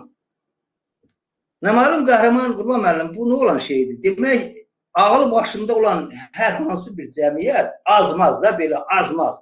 Orta səviyyədən də az ağla malik olan heç bir cəmiyyət deməsi gəlin sabah müharibə başlayacaq kimi. Həqiqidir. Heç vaxt. İstəyir dünya dağılsın, heç bir vaxt, heç bir cəmiyyət deməsi gəlin müharibə başlayacaq. Buna cəmiyyəti hazırlamaq lazım. Bunu nədir hazırlayırlar? Bunun çox iyrənc metodları var Qurban müəllim. Bunun metod nədən ibarətdir? Bu öz ordusunun haqqında bir belə mif yaradır ki, bizim ordu qalib bir ordudur. Bizim ordu məğlub edilməz ordudur. Bizim ordu sonra keçir bizim ordu xilaskar ordudur. Bizim ordu həmişə xilas eləmək məqsədi ilə gəlib hər yerə. Bunu bizə 300 il yeridirlər də, özünüz bilirsiniz. 300 il yeridirlər bizə ki, biz həmişə xilas xilas edənlər gəlib, xilas edirlər. Həmişə bizi kimdənsə xilas edirlər. Bizi hə. Demek bizim ordu en güçlü ordulardan biridir. Mesela bunların e, Vayna Vazdushnis kuvvetleri var idi. Onu koydular Vayna Kasmiç alın gençler. Harbi, harbi hava. Ha, demek ondan sonra ondan sonra bu mekanizmi işe salırlar. Sonra bir ve başlayırlar sonra yalanın içinde takılır. Biz Avrupa'nın azat elədik müharibə vaxtı faşizmdən, biz Avropa xalqlarını tutardık zülmdən, biz məsələ Şimali Koreyaya azadlıq gətirdik, onları xoşbəxt elədik. Bu saatda xoşbəxtlikdə yaşayırlar. Nə bilim filan yerə xoşbəxtlik. Belə-belə bu xalqı hazırlarlar. Demək biz xilaskar ordumuz hər yerdə var. İndi sonra keçir ikinci etap. Bəs deməzsənmi filan yerdə məsəl üçün Donbasda xalqı əzirlər. Lazımdır gedək orayı biz azad edək. Üzə üçüncü etap başladı. Üçüncü etap gələndə cəmaət deyir, hə, getmək lazımdır. Sonra müharibə vaxtı da, qurban müəllim, müharibə vaxtının özündə müharibə gedə-gedə də çox yalancı qəhrəmanlar yaradırdılar. Yalancı qəhrəmanlar. Biri məsəl üçün gəlin elə götürək o Zoya Kosmedemyanski. Niyə Zoya Kosmedemyanski? Nemeslər gəlib kənddə raskvartirovası olmuşdular, cəmaətin evində də. Bu da gəlib cəmaətin evini yandırırdı.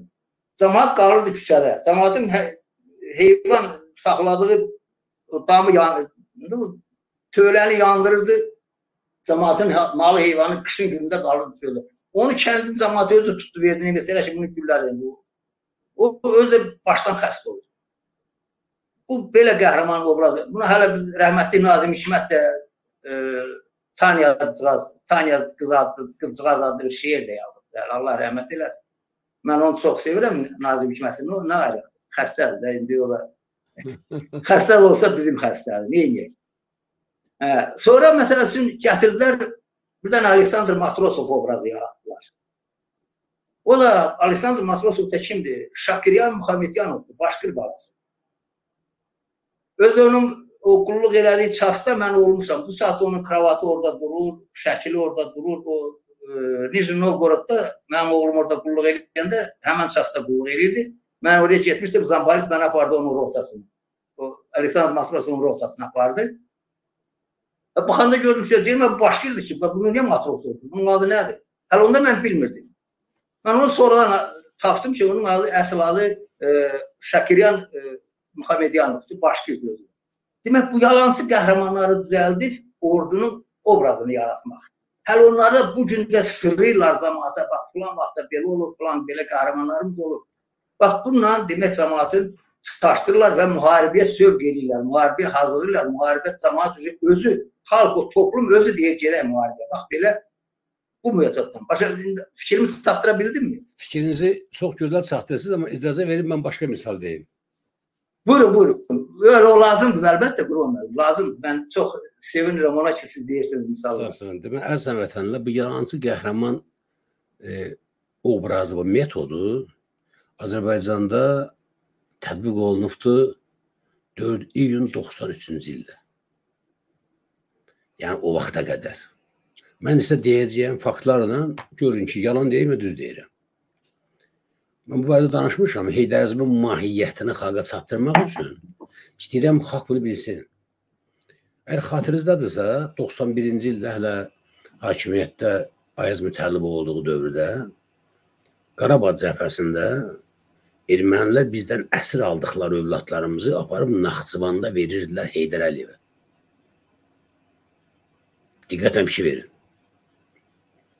Siz erməni siyasətinin gücünə baxın, təbliğatın gücünə baxın.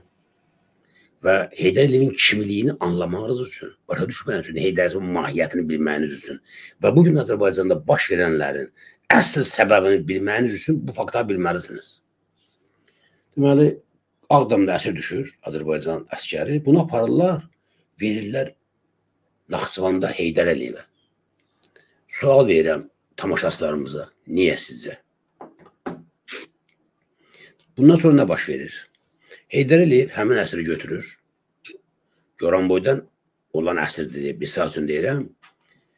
Başlayır mərhələ-mərhələ həmin bu təbliğatın bütün növləri tətbiq olunur Azərbaycanda. Goranboydan əsrin qohumları dəvət olunur Naxçıvana. Onların gəlişi, Heydər Əliyevin görüşü, Heydər Əliyevin əlini, ayağını öpmələri video çəkilir. Video lent hazırlanır. İkinci mərhələ başlayır əsrin Naxçıvandan yola salınması. ilə çəkilişlər, montajlar. Üçüncü, həmin əsrin Gəncə hava limanında qarşılanması və Coromoya aparılması. Bütün yol boyu Heydər, Heydər, Heydər xilaskar, Heydər qəhrəman, Heydər gəl baba gəl, öldük baba gəl, baba gəl, gəl anamızı ağlat. Xocalda hadisə baş verir. Xocalıdan adamlar çıxır 92 fevral ayının 26-sıdır. Qaça qaçdı. Bu dəmdə belə bundan istifadə eləyir. Güya Xocalıdan gələn birisi o dəmdə, o basa-basda, o qan içində, anası bacısı düşüb əsir, o basa-basda nə desə yaxşıdır. Biz ancaq Heydər xasıdır. Heydərin qəhrəman obrazı yaradılır əzəm vətənlər. Üçüncüsü, erməni hücum edir. Bunlar hamısı Ayaz Mütəribovun vaxtında baş verib. Ha dostlar, Elçibəyin vaxtında yox deyəsiniz ki, mən güya cəbhəçi təəssüfkeşliyilə danışıram. Mən sizə real faktlar deyirəm, hadisələr deyirəm. Müharibə gedir, ermənilər hücum edir Qarabağda. Bu vaxt həmin Heydər Əliyev çağırır, gedir oturur əvvələ çay içir ermənilərin prezidenti ilə. Müqavilə bağlayırlar ki, siz Naxçıvana, Naxçıvan da sizə hücum eləməsin. Sanki Naxçıvan ayrıca dövlətdir. Baxın ha. Azərbaycana ermənilərin elədiyi hücumun Naxçıvana aidiyyatçıları yoxdur. Qərar qəbul edirik ki, müqavilə bağlayırıq ki, siz bizə, biz də sizə hücum eləmirik. Nə baş verir nəticədə? Nəticədə ermənilər Naxçıvan cəbhəsi boyu, bilirsiniz ki, Naxçıvanda çox böyük e, cəbhə xətti var. Az xətt deyil. Bütün Naxçıvan boyu ta Sədr Araz dəyəndən beri fırlandı belə gəlir dağlar, dərələr, Ordubada Çotan kəndinə qədər böyük bir sərhəd var orada saxlanan qoşun kifayət qədər güclü hərbi hissələrdir. Hamısını çəkir ermənilər, hücum Qarabağa, Qarabağda istəklərinə nail olurlar. Təbliğat gedir Bakıda. Baxın ha, öncə Naxçıvan cəmaatının içərisində Naxçıvanları ilə bayaqdan hörmətli Rüstəm müəllimin dediyi o faktlar ki var, o nəzəri fikirlər ki var, bizim həyatımızda tətbiq olunubdur. Mən istəyirəm bunu biləsiniz siz. İlk növbədə Naxçıvanları inandırırlar ki, baxın ha, siz gərək bunun qədrini biləsiniz. bunun qorxusundan erməni Naxçıvan hücum eləmir. Fikir verirsiniz? Ki bu boks yarışıdır. Ermənistan dövləti bir boksyordur. Heydər də boksyordur, onu qorxur. Vurub o tərsi sındırıbdır. Siyasət qap kənarda Azərbaycan xalqını rəsmən üz istəmə ifadə edir, deyəcək bunu qoyun yerinə qoyub idarə edirlər. Və Azərbaycan baş şəhərində təbliğat başlayır. Ki görürsüz, ermənilər Heydər Əliyevdən qorxur deyə Naxçıvana hücum eləmir. Deməli, nə etmək lazımdır? İstəyirsənsə Qarabağa hücum eləməsin erməni, nə etməlisən? Heydəri gətirməlisən Azərbaycanda hakimiyyətə ki, erməni onun qorxusundan hücum eləməsin Ağdama.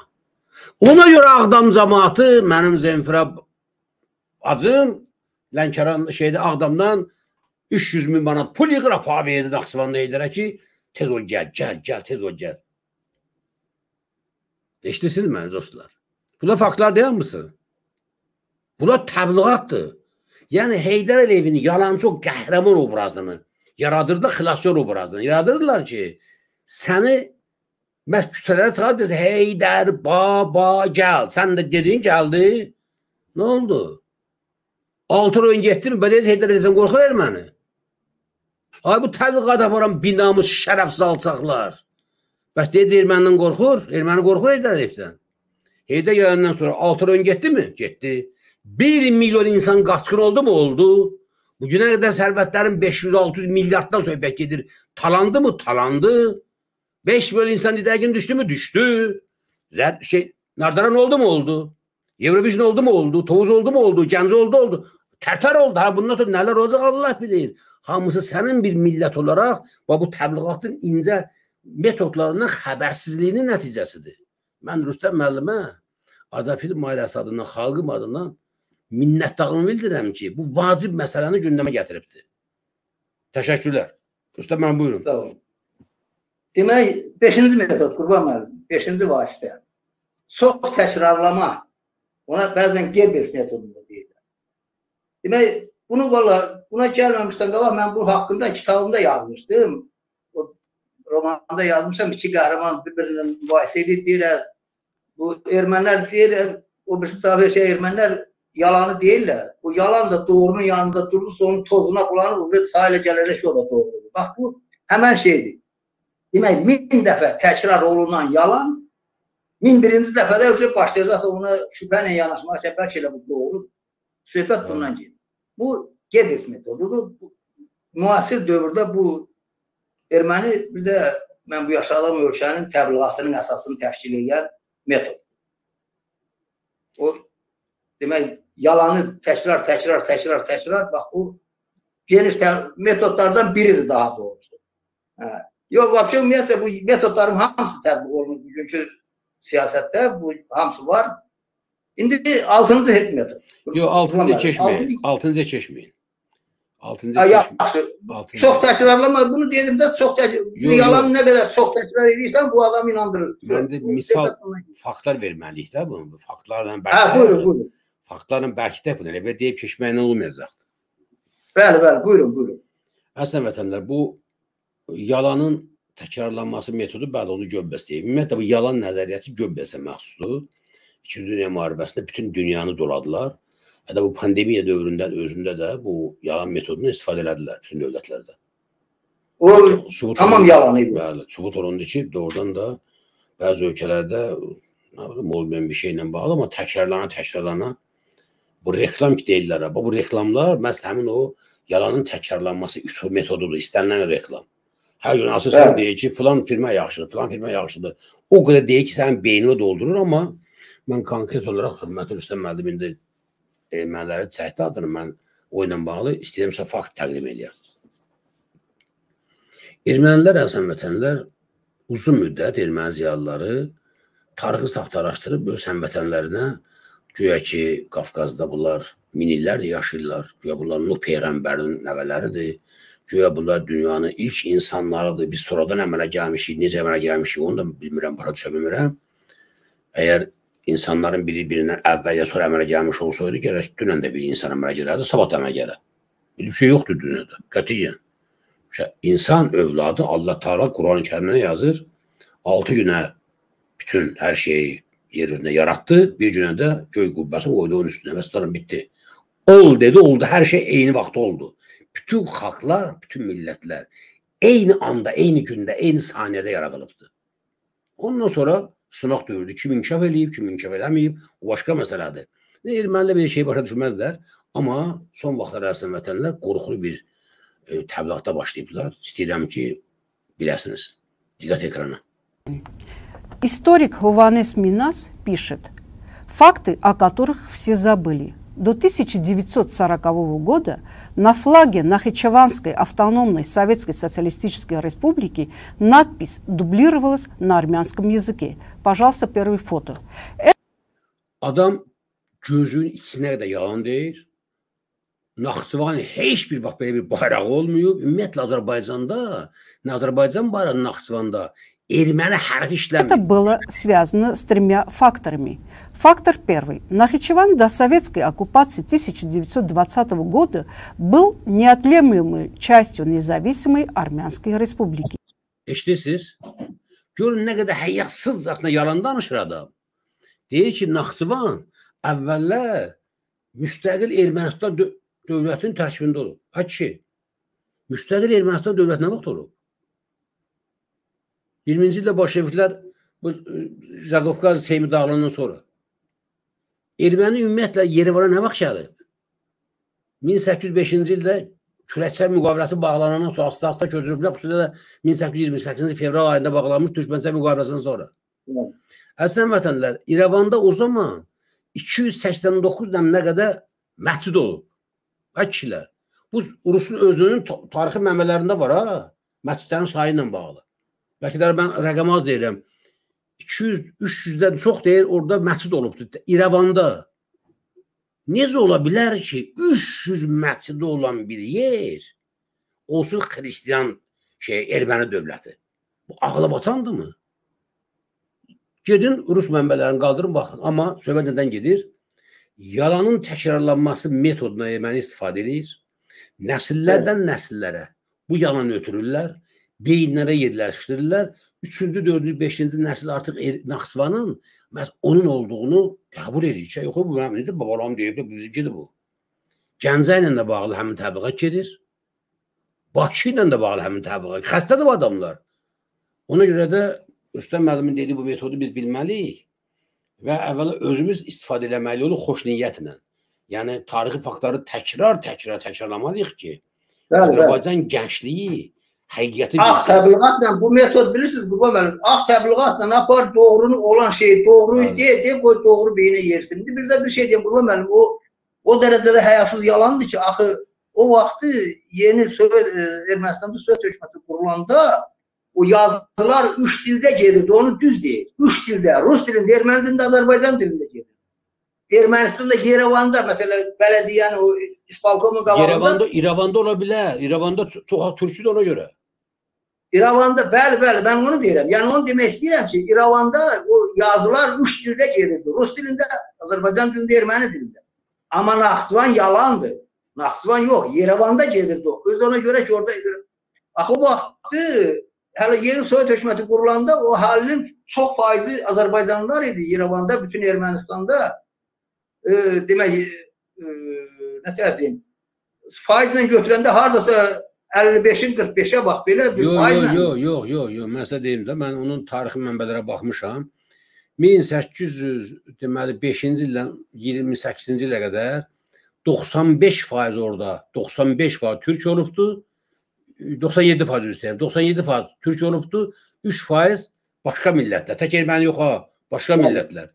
Sonra, mən 20-ci ildən sonra deyirəm. Bəli, məskunləşmə kimi başlayıbdı. 1920-ci ildən sonra başlayıb ruslar, bolşeviklər öldürməyə, Mən 20-ci ildən sonra deyirəm. Hı. Mən 20-ci ildə Sovet hökuməti qurulan vaxt deyirəm. Çünki bizi e, Zəngəzurdan qovdular, Dərələyəzdən qovdular, Göyçədən qovdular. Bizim ham nə qədər milləti qovdular. Hələ yenə ona baxmayaraq bizim orada 60 faizimiz biz Azərbaycanlılar təşkil edir havanı. Ermənistanın əhalisini. Mənim Rüstəm müəllim bu dəqiqədə mən 1959-cu ildə doğulmuşam. Mənim bu dəqiqədə yadımdadır ki, hardasa 5-6 yaşında bu belənsi. E, çünki mən məktəbə getmirdim, yadıma gəlir. bu da çıxır nə vaxtda 65-ci ildə 1965, 64, 65-ci illərdə bizim şəxsən mənim deməli ana babalarımın orada torpaqları var idi. İtqiran, Almalı deyilən orada kəndlər var. Hı -hı. Mənim yadıma gəlir, orada dağın deməli döşündə çay gedirdi. Biz çıxıb o dağın üstündə kəhli qovalayırdıq. Mən də böyüklərinə qaçırdım o dağlarda. O mənim yaddaşımdadır. Mən o, o, o yerləri bu dəqiqədə hiss edirəm. Yadıma yuxuma geri görürəm mən o yerləri. 64-65-ci ildən söhbət gedir. Və orada bizim hə, evimiz var idi, bizim sürülərimiz var idi. Biz ora aran yaylıq edirdik də belə qışda gedirik ora yayda qayıdırdıq. Yayda gedirik qışda gəlirdik Naxçıvana. O zaman nə qədər orada türk var idi hələ. 1965-ci ildə söhbət gedir dostlar. E, erməni istəyir sübut edir ki, sən demə Naxçıvan qədim erməni dövlətidir, torpağıdır. Halbuki ermənin özü qədim deyil burada, dünən gəlibdir. Buyurun. Davam edək. Demək, indi keçək 6-cı punkta yarım həqiqət. Bu elə adından bəlli olduğu kimi, adından bəlli olduğu kimi demək, yalanı biraz gözünə doğru qatırsan, cəmaata təbliğ eləyirsən. Ən dəhşətli qorxusu bu. Çox qorxulu metoddur. Ən dəhşətli, ən dəhşətli üsullardan biri budur. Orada demək məsələ kifayətdir ki, məsələ məsəl üçün deyir də, sənə ki, bir dənə yalanı ötürəsən cəmaata. 90 dənə həqiqəti deyirsən və bunun içinə bir dənə bu yalanı qatırsan. Uje bu elə bir vəziyyət yaradır ki, sən uje bunu yoxlamağa e, birini yoxlayırsan, ikisini yoxlayırsan, hamısı doğru, doğru, doğru, özü yoxlanılması mümkün olan faktları göstərirsən orada. Bir dənə bu yalan da bunun içində gedir. Və bunu hələ bu yalan elə özünü belə alizənaflığı ilə seçilir ki, bu demək, ə, nə düz adam, bu bunu buna bax, bu siyasətçi, əsl siyasətçi bunu, bunu gəlin verək qabağa, bunu ministr qoyaq, nə bilim nə qoyaq. Halbuki o alsağın birisidir. Başa düşürsən? Danışdığı yalandır, onun haqqında danışanlar hamısı yalandır. Amma o bir dənə sözü o e, razvedkada, kəşfiyyatda belə bir anlayış var. Zakan Silviro'nun yagi. Otuzdurlar onu bir yerde. O kadar oturur oturur oturur. Lazım gelinde öz, özünü gösterir böyle muhalefetçi mi, hakimiyet sağa sola vurur. Lazım gelende bizə dənə söz deyir. Mən onun misalını gətirəcəm indi qabaqda. O intelligensiya haqqında danışanda, Rusiyanın intelligensiyası haqqında danışanda o misalı gətirəcəm. Bax demək, bax bu bunun texnologiyası bundan ibarət. Demək, ya, çoxlu doğrunun içində bir dənə yalanı ötürmək. Öz yalanını ötürmək və bununla da cəmaatı inandırmaq. Bax bu e, adından çox vaxt müəyyən bir problemi həll etmək üçün, məsələ müəyyən bir problemi həll etmədə qısa müddətli bir problemi həll etmək üçün lazımdır istifadə edirsən. O doğruları deyirsən, onun heç bir nə istiliyi, nə soyuqluğu yoxdur, amma yalan keçdi, öz işini görür. Bax bundan söhbət gedir bu mənim. Təbii, təbii. Bu, İndi, bu metod çox üzr istəyirəm, e, çox qorxulu metoddur. Mən bunu Bizim Ən qorxulu metodlardan biri budur Qurban müəllim. Ən qorxulu. Bizim Özə tutmaq mümkün deyil. Bunu tutmaq çox çətindir.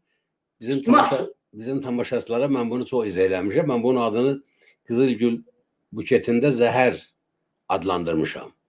Qızılgül sənə verib buket. Amma sizə zəhər qoyubdu. Və bu hə, ən çox yarpaqlarını priskat eləyir zəhər. Hə, bu bu metod ən çox tətbiq olunur din sahəsində əsən vətənlər.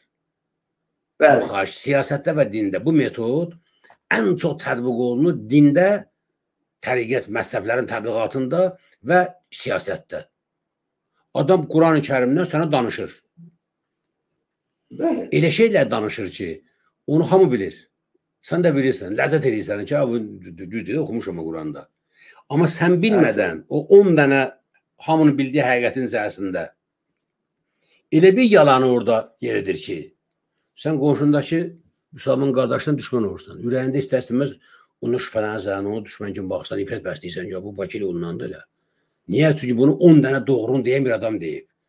Halbuki o zalim alçaq adam məhz o bir dənə yalanı sənə yeritmək üçün və siyasətdə də ki bilirsiniz ki, bu metoddan ən çox istifadə edən Heydər Əliyev oğuldur. Azərbaycanda dostlar. Hamının bildiyi faktı bir deyir, deyir, deyir. Bir də baxdın ki, taraf onun içərisindən eləcə də Azərbaycan müxalifətində. Pənah Hüseyn qədər bu, bu metoddan istifadə edən adam inanmıram olsun. Bu adam hamının bildiyi fakt deyər, deyər, deyər və onun arasında elə bir yalanı uydurur, axıdır ki, Cəmaət yəqin düz, düz deyir də bu. Bu, bu da düz deyir bu şeyləri. Ve yoxlamırsan da heç, yoxlamakla, yoxlama ehtiyac duymursan. Çox təhlükəli metod. da bizim bugünkü, bugünkü mövzumuz elə bütün həyatımızla bağlanır nəsə. Əlbəttə, əlbəttə bu özdə bu təbii ki bizim həyatdan yox, bunlar min il bundan sonra da bu çox faydalı mövzudur. Yəni İndi 7-ci metod Qurban müəllim, qorxunc hekayələr metodu deyirlər buna. Demək, e, dəhşət, dəhşət, dəhşət və yaxud da sadə dəhşət. Buna bəzən deyirlər Overton pəncərəsi. Bu demək insanı məcbur edirlər seçim qarşısında qalırsan. Dəhşət, dəhşət, dəhşət mi seçəsən yoxsa sadəcə dəhşət?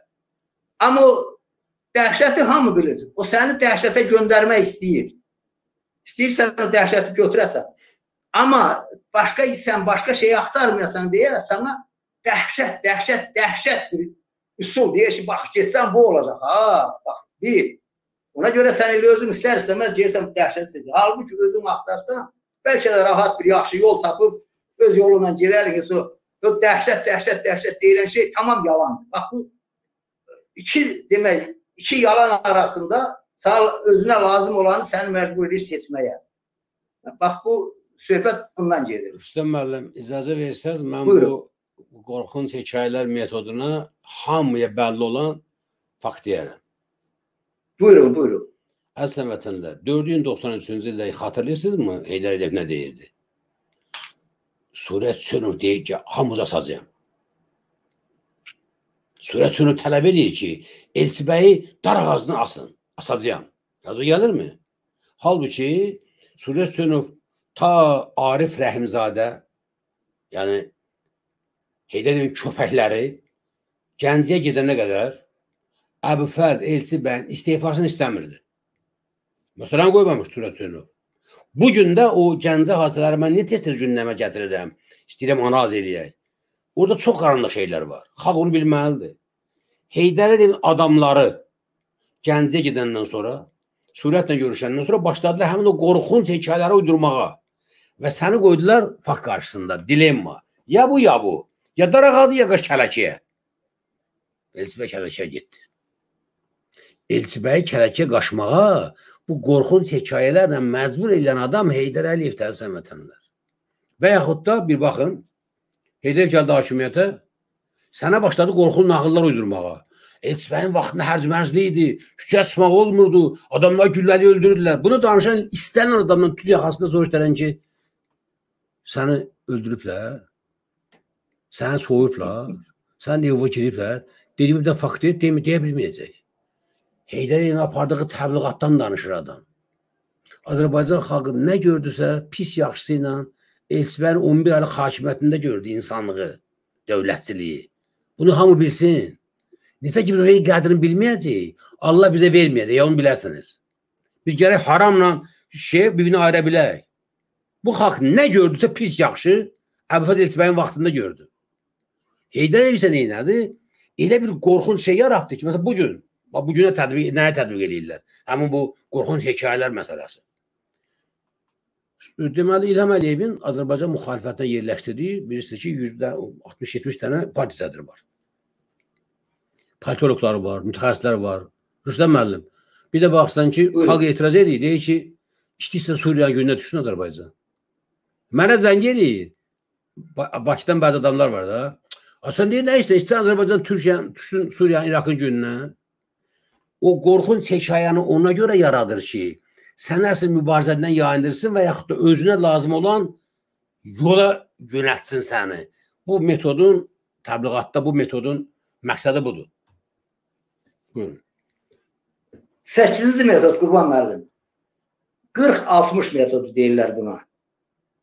Bu tərtəmiz Gebelsin metodudur. Bunu Gebels düşünübdü. Özdə bu proporsiyanı da Gebels veribdi. Demək bu nə edirdi? Müharibə vaxtı Qurban müəllim, müharibə vaxtı, qızğın vaxtında müharibə birinci günündən müharibənin 41-ci ildən 39-cu ildən müharibənin birinci günündən Berlində radiostansiya qoyuldu. Radiostansiya başlayıb işləməyə 60% informasiya gelibdi. Germa Almaniyanın düşmənlərinin xeyrinə olan informasiya, 40% Almaniyanın xeyrinə olan. Hamı elə düşünür ki, bu radiostansiya İngiltərədə, Londonda işləyir. Amma heç kim bilmir ki, bu Berlinin ortasında oturur. Bu nəyə görə, nə məqsəd güdür? Ona lazım olan, məsələn 60% onsuz da bilir. Məsələn, gəlir deyir ki, ermən e, nədir, almanlar filan şəhəri bombalarlar. Hə, bunu hamı bilir də bombalayır, bu əzab bombalayır. Nə edir? Bunu deyir, nə bilim orada orayı dağıtdı, burada burayı dağıtdı, filan yerdə filan lagerdə adam güllələrlər, neynərlər. Bu olanı deyir də bu 60% doldurur 60%. Amma 40% onu Goebbels'in özünə lazım olan informasiyadır. O proporsiya o yuxarıda var idi doğru ilə yalanın qarışdırılması. Orada o bu ondan fərqlidir Qurban müəllim. Bunun fərqi ondadır ki, burada stroq proporsiya var. Bu sabıda olunmalıdır. Bu e elm bir əsas kimi götürülür. 40-60 bax buna görə hə, bu bax bu metod demək Bunu, bunu, geniş tətbiq olundu. Bunu mən e, nümayə bunu o yuxarıdakı yalanla doğrunun qarışmasına bənzər metoddur. Burada elə indi Qurban müəllim keçək o mən deyirdim 8 plus 1. Mənim o öz gəldiyim nəticə. Aha. Mən bunu bunu mən bir teoretik baxım kimi vermirəm. Bu prosta gəldiyim nəticə bunu mən sizlə, tamaşaçılarımızla bölüşmək istəyirəm. Başa düşürsünüz? Nəyə görə? Qurban müəllim, buna mən bu son vaxtlarda gəlmişəm bu nəticəyə. Nümayişkaranə təbliğat deyirəm. Bunun adını mən nümayişkaranə təbliğat da belə. Göz görətici nümayişkaranə təbliğat. Bu nə olan şeydir Qurban müəllim? Biz indi gəlin baxaq da belə. Son vaxtlar bu müharibə başlayandan bəri e, da mən yaşadığım ölkə ilə qonşu ölkənin müharibəsi başlayandan bəri hər yerdə məsələ şəhər, bir şəhərdə məsələ vəhşilik eləyir də, buranın ordusu vəhşilik eləyir. Bir yerdə Dağıstanlıların adı gedir, bir yerdə Çeçenlərin adı gedir, bir yerdə e, Buryatların adı gedir, bir yerdə həqiqi deyirəm, hansı hər şəhərdə bu xalqlardan birinin adı gedir. Başa düşürsünüz? Hər şəhərdə ən axırıncı o e, əsir düşmüş əskəri bıçaqla kəsib o biabırçı öldüyündə güllələyən Kalmıkdır, qurban müəllim. kalmıqdır. Bəli. Vay vay vay vay. İndi qulaq asın, burada məqsəd nədədir qurban müəllim? Axı son zamanlar böyük bir e, e, mü- müzakirələr gedir ki, bu xalqlara azadlıq vermək lazımdır. Xalqlar azad olmalıdır. Bu göstərmək ki, al azadlıq ver göründə bax sən bunu görəcəksən. Qabaqda bu xalqın qarşısını alan biz, ye, Aha. biz, biz. Aa, Bu mənim gəldiyim nəticədir qurban müəllim. Bilmirəm, düzdür. Azər- Azərbaycanda da məsələn eləyir və indi bəzən bir də baxırsan ki, kimsə gör radikal İslam radikal adından Azərbaycanda ye, bəzi hərəkət eləyirlər ha. Mən bunu min dəfə demişəm ki, Azərbaycan hakimiyyəti özü bunu hazırlayır. Azərbaycan hakimiyyəti onlara özü hazırlayıb onu Avropa göstərməklə çalış deyib bu məni qorumasaz, bu bula gedəcək mənim yerimə. Hətta mən Londonda hücum oldu ha. Mən açığı deyirəm sizə, mən bunu şübhələnirəm ki, bunu İlham Əliyev özü təşkil ediblər. Müəllim, bayaqları mən orada o səfirin danışığına qulaq asdım. Elə axmaq sərsəmləmə şeylərdir. Deyir orada deyir 3 nəfər olar. 3 nəfərə bu əvvəli bunu Mar Marskay Pekota qorumalıdır. Bunu Spetsnaz qorumalıdır içəridən. Çöldən bunu İngilis polisi qorumalıdır. Nə danışırsan sən? Kişi şey danışır. Səfirlik görməmişik biz. Səfirlik bilmirik necə mühafizə olunur. Elə şey. Orada deyir 3 nəfər var idi. Dokumentləri qoruyublar. Nə bilim nə qariblər. Gic elə gic şey danışır elə bir ki, cəmaatı dolub. Deyir bu vallahi həqiqi. Belədir, belədir. Bax bu bilmirəm indi mən bu göstərici, bu nümayişkaranə təbliğata uyğun gəlirmi bu mən dediyim yoxsa yox? O bu, bu təbliğatın sizin özünüzün müəyyənləşdirdiyiniz bu şey ki var. Bu ən çox e, terrorçuların deməli fəaliyyətində tətbiq olunan metoddur.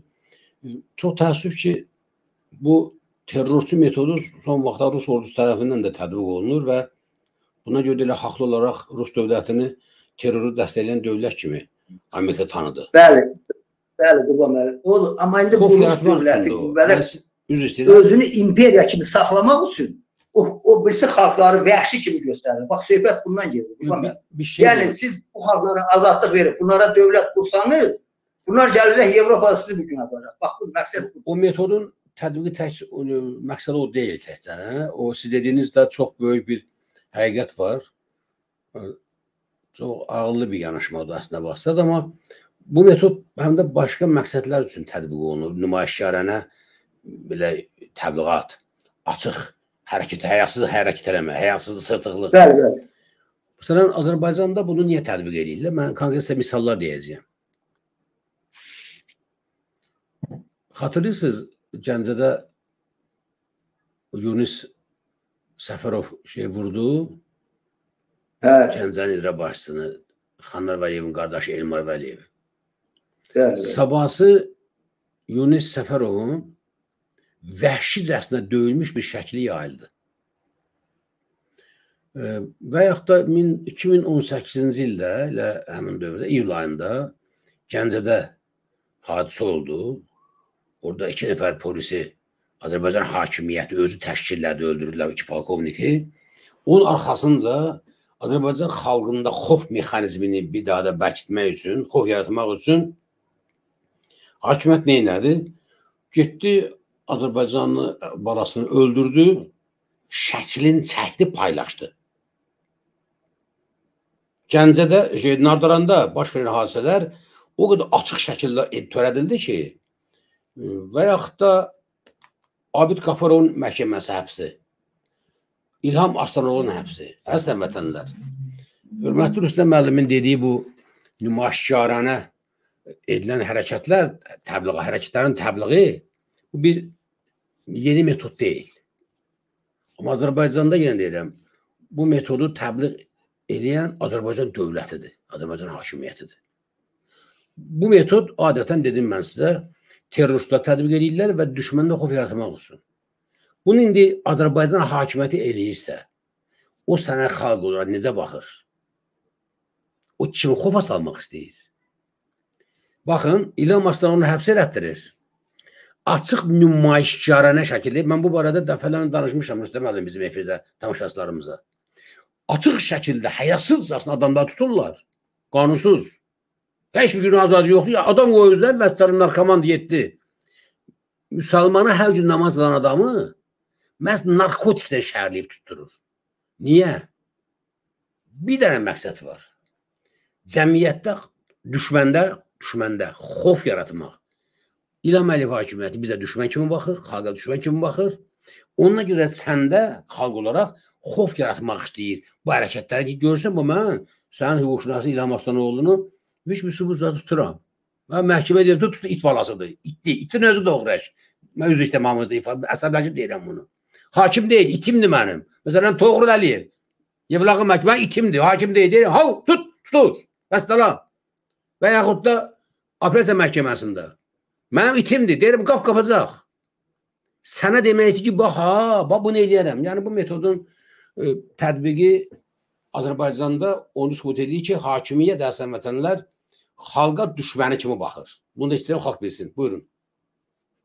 Bu misal çox. Demək Qurban müəllim, bu bu metod bax bu plus 1 metodu da bax bu bəxti 8 plus 1. Demək bunu göstərir ki, əgər sən bu xalqları parçalayıb, demək bu imperiyanı parçalayıb bu xalqlara müstəqillik vermək istəyirsənsə, onda bax belə bir dövlətlərlə, belə bir xalqlarla sən üzə qalacaqsan. Bax mənə bunun qarşısına, mən ona görə bu imperiyanı qurdalamaq olmaz. Və bunu, bunu əvvəlcən orada o yeridilmiş desant qüvvəsi var. Jurnalistlər güya ki, qaçıblar, güya ki, bu indi rejimi əlindən qaçıb ki, hamısı Avropaya olub, hamısı yalandır. Hamısı ki, orada imperiyanı təbliğ edirlər.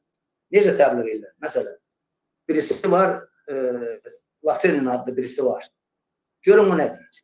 Bütün dünya deyir ki, bu dövlət faşist dövlətidir, faşizmdir, nə bilim nədir, nədir. O deyir ki, o dövlət faşist dövlət deyil, orada Çikatilolardır. Çikatilo kimdir? Bir dənə manyak ubisalı. Şvetsiyada Breivik getdi, bir gecədə 60 adamın böyrü üstə qoydu, ömürlük həbs oldu. Şveysariya, Şvesiyanı kim günahlandıran bir şey de var mı? Manyak idi, baş xarabın birisiydi. Elə də Çikatilo. Bu demək bu faşist sözünü bu dövlətin üstündən götürmək. Başa düşürsünüz? Məsələn, orada burada bir radyo stansiya var idi. Exa Moskva deyirlər. Ona mən neçə dənə məktub yazmışam bu həyasızlara ayarlı. Azərbaycanın şərəfinə ki, e, bu qədər alçaqlıq olmaz. O Latinlə özünə isə məktub yazmışam. E, bilmirəm, satıb, satıb da hamısının onun adresi var, öz adresinə yazmışam. Yəni, amma cavab almamışam. Ondan sonra bəzi ekspertlər var ki, evində orada sırlar, nə bilim, Piantkovskidir, Elaryonovdur, nə bilim, odur, budur.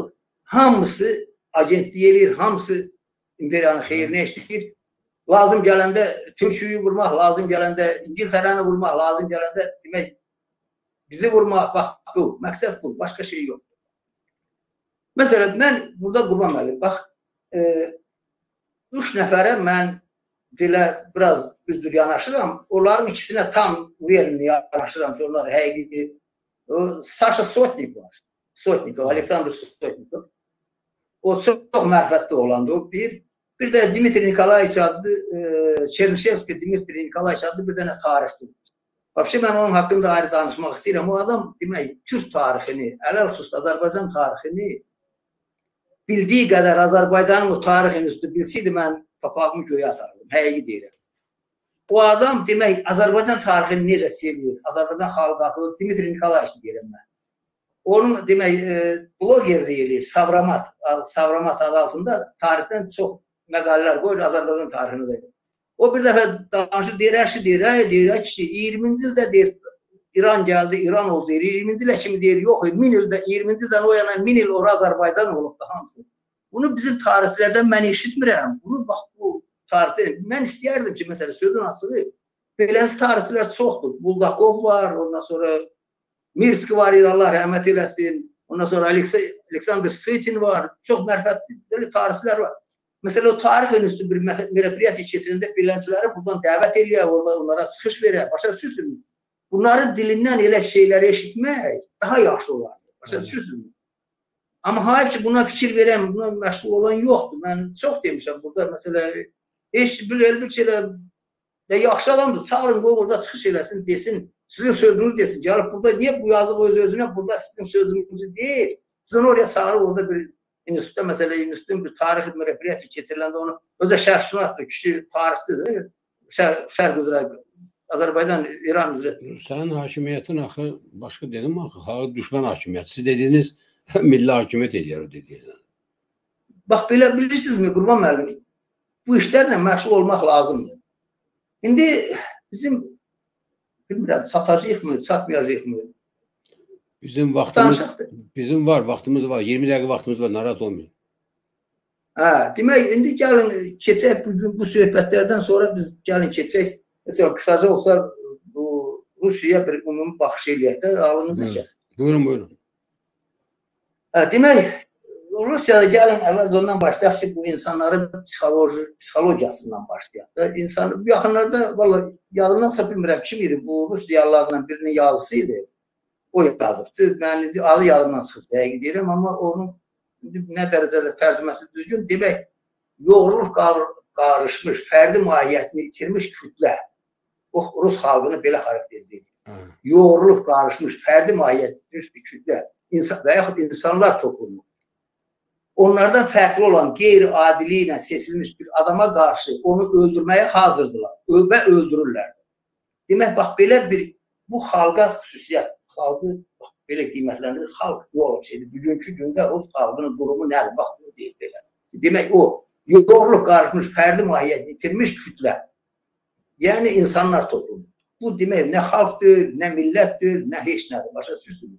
O da bu, bu təbliğatın nəticəsində o içəriyə yönəlmiş bax bu qara təbliğatın nəticəsində son illərdə, son 20 ildə qara təbliğatın nəticəsində bu milləti məhv edirlər. Sözün həqiqi mənasında. O haqda o Çernişevski deyir, həmən o adını çəkdim Çernişevski deyir ki, e, Rusiya deyir bir dövlət kimi deyir, onun hüququ yoxdur bu gün bu yer üzündə qalmağa hüququ yoxdur. Turgenevin sözünü gətirir, sonra öz sözünü alır. Turgenev bilirsə nə demişdi? Hələ o vaxt Turgenev demişdi ki, dünya Rusiya məhv olandan sonra dünya asudə nəfəs alıb, asudə nəfəs alacaqdır və Rusiyanı tamamlayacaq. Hələ Turgenev o vaxt yazıb. Bugünkü bu Çeruşevski yazır ki, Rusiya dövlətinin mənəvi haqqı yoxdur ki, mövcud olsun. Çünki deyir, bu dövlət deyir, vəhşiləşir, bu xalq deyir, simasını itiribdir. Qurban müəllim. Xalqın mənəviyyətindən danışanda bu müharibə çox şeyi açdı, ortaya qoydu. Qurban müəllim. Nəyi ortaya qoydu? Uca insanlar ərlə arvad dalaşırlar, oğlunun o alınan kompensasiya, öldüyünə görə alınan kompensasiya.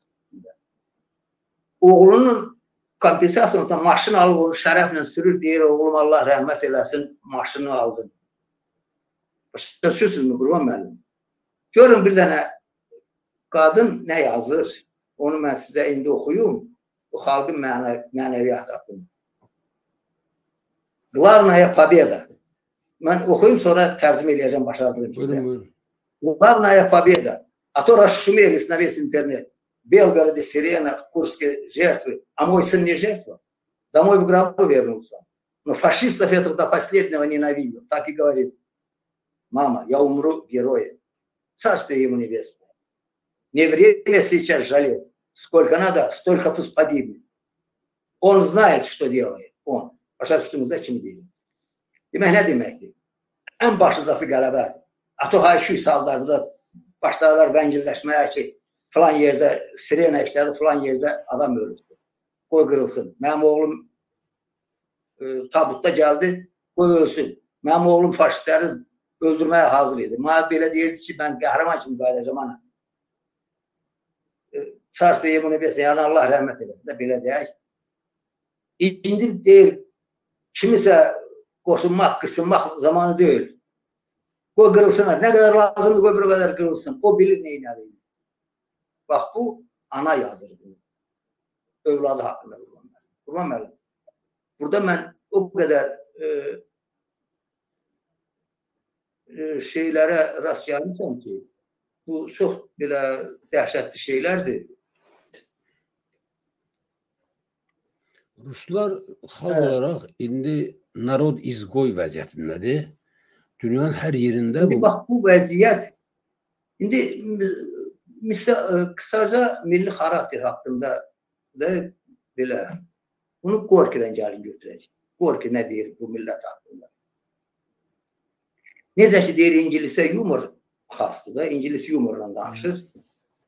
Ruslara deyir qəddarlıq xasdır. Rus deyir qəddarlıqdan həzz alır. Elə bil ki, insanın iradəsini yoxlayır. Nə vaxta qədər o dözə bilər bu qəddarlığa qarşı e, ölə, ölənə kimi onu yoxlayır ki, nə vaxt öləcək. Bax bu deyir, bunun psixologiyası deyir, bax belə yoxlayır, belə qurulur bunun psixologiyası.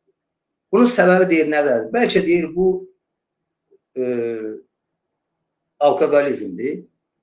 Ola bilər, beyni zəhərlənir. Çünki deyir, burada alkoqol sən deyir, başqa xalqlardan deyir, bunlar da az içmirlər. Amma deyir, bunların yeməkləri keyfiyyətsiz olduğundan o beyinləri zəhərlənir. Bir də ki, o müqəddəslərin, həy- müqəddəs əzabkeşlərin həyatını oxuyurlar. Bütün qışı yaza kimi. Qış da burada 8-9 aydır.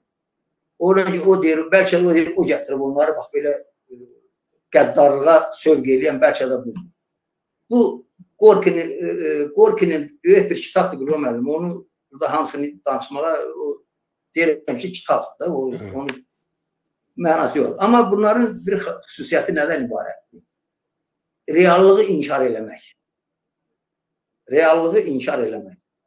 Demək, heç heç vaxt öz günahlarında kim o, kim o qodmu günahkardır bir dənə özlərindən başqa. Bunların bir yazısı var idi, Daniel Granin. Bu yaxınlarda öldü. 100 yaşa yaxın yaşadı öldü. Çox da belə müharibə iştirakçısı olmuşdu. O bir dənə xatirə yazmışdı. Öz xatirələrində yazır ki, getmişdik deyir biz Buxenvalda, o lagerdə insanları yandırırlar, öldürürlər deyir. Burada deyir Buxenvaldan lagerdən deyir, muzeydən deyir, yaxınlıqda deyir, mağazin var idi. Getdim deyir o mağazindən su almağa. Hə, özüm deyir, e, qəsdən deyir, e, oradan deyir o mağazindən o Buxenvaldın turbaları göründü.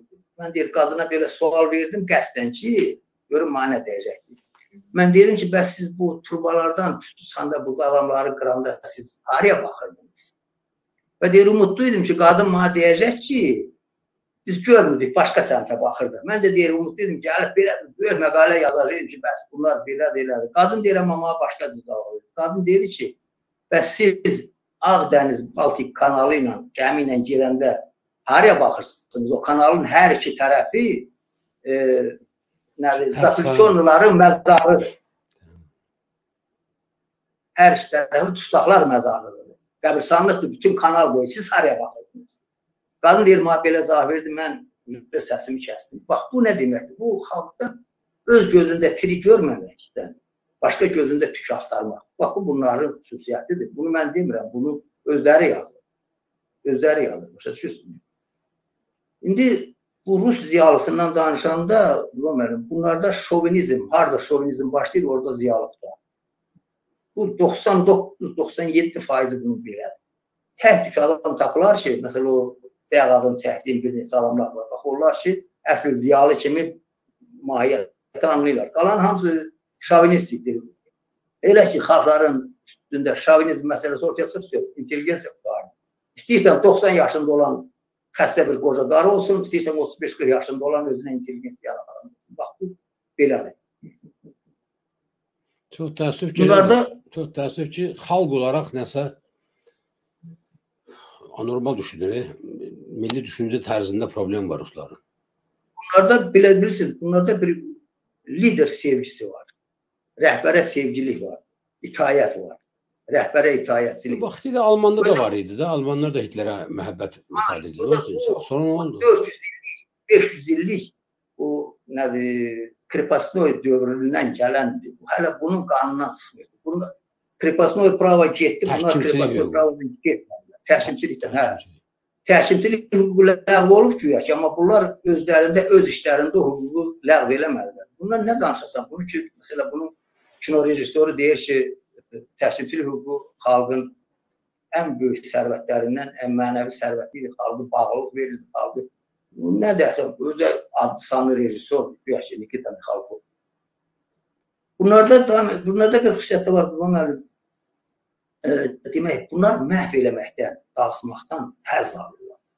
Har, har gəlir, uçurmaq, dağıtmaq, yıxmaq, çevirmək, yandırmaq, bu bunlara belə zövq, zövq verir. Bu zövq oxşayan bir şey. Başa düşürsünüz? Bax, belə bir şey var. Bu da bunların xüsusiyyətlərindən biridir. Mən burada, e, bilirsiniz, qısa deyirəm bu, çox vaxt aparam. Bunun hər birindən ayrı-ayrılıqda danışmaq olar. Uzun müddət. O özdə bunlarda patologik bu qərbə bir nifrət var. Patologik. Özdə bunlar adını qoydu çürüyən qərb. Bu, bu ifadəni birinci dəfə e, Şavryov adlı bir dənə Stepan Petroviç Şavryov adlı bir şair oldu, ədəbiyyatçı olub. O deyir ki, 1800 41-ci ildə o deyir ki, çürüyən qəlb ifadəsi işlədir. Amma bu özü gedib Parisdə ölüb 64-cü ildə. Bax bunlar hamısı qərbin adını çürüyən qoyur, qərbin adını yiyələnən qoyur, qərbin adına nifrət edir. Hamısı oraya canım. Uşaqlar orada, böyüklər orada, ailələr orada. Bax Təşəkkürlər, Belə təşəkkürlər. çox- başda demək hərcmərçilik başda qarşılıqlıqdır. Bax bu belə bir şeydir bunlar. Mən sizə minnətdaram, çox sağ olun. Deməli bir şey deyim bu yerdə bu çürüməklə bağlı. Buyurun, buyurun, Biz buyurun. Əskəhətdə onunla bir, bir anekdot uydurmuşlar deyirlər. E, bu Qərbi Berlinlə Şərqi Berlin arasında bir də bir şey var da divar tikmişdilər. Hə, iki, iki dənə əskər dayanıb indi bir təpənin başında. Bu yanda İvan, bu yanda Gans. Bir dənə təpə, bir dənə belə boşqadır hər ikisində. Əlində avtomat dayanıbdı. Və söhbət edirlər. İvan Qansdan soruşur ki, Qans, sən də nə edirsən? Deyir, bir gözətçilik edirəm, nə edirəm? Deyir, nə qoruyursan? Deyir, bu boşqanı. Deyir, o boşqanın sən nə var ki, onu qoruyursan? Deyir, bilmirəm, mənə deyir, dur, burada durmuşam. Deyir, bəs sən orada nə edirsən? Deyir, mən də sənin kimi də bu boşqanı qoruyuram. Deyir, içində nə var? Deyir, mən də bilmirəm nə içində var. Mənə deyiblər, qoru qoruyuram. Deyir, biz eyni işi görürük də. Sən niyə mənə təəccüblənirsən? Birdən İvan soruşur ki, sən nə qədər maaş alırsan? O deyir ki, 1000 mark. Nə qədər 1000 mark bu hesablayır? Bu da 100 rubl. Gedir Simet demə növbəni təhvil verəndən sonra gedir ərzəsini yazır ki, də bundan sonra xidmət eləməyəcəm, işləməyəcəm orada.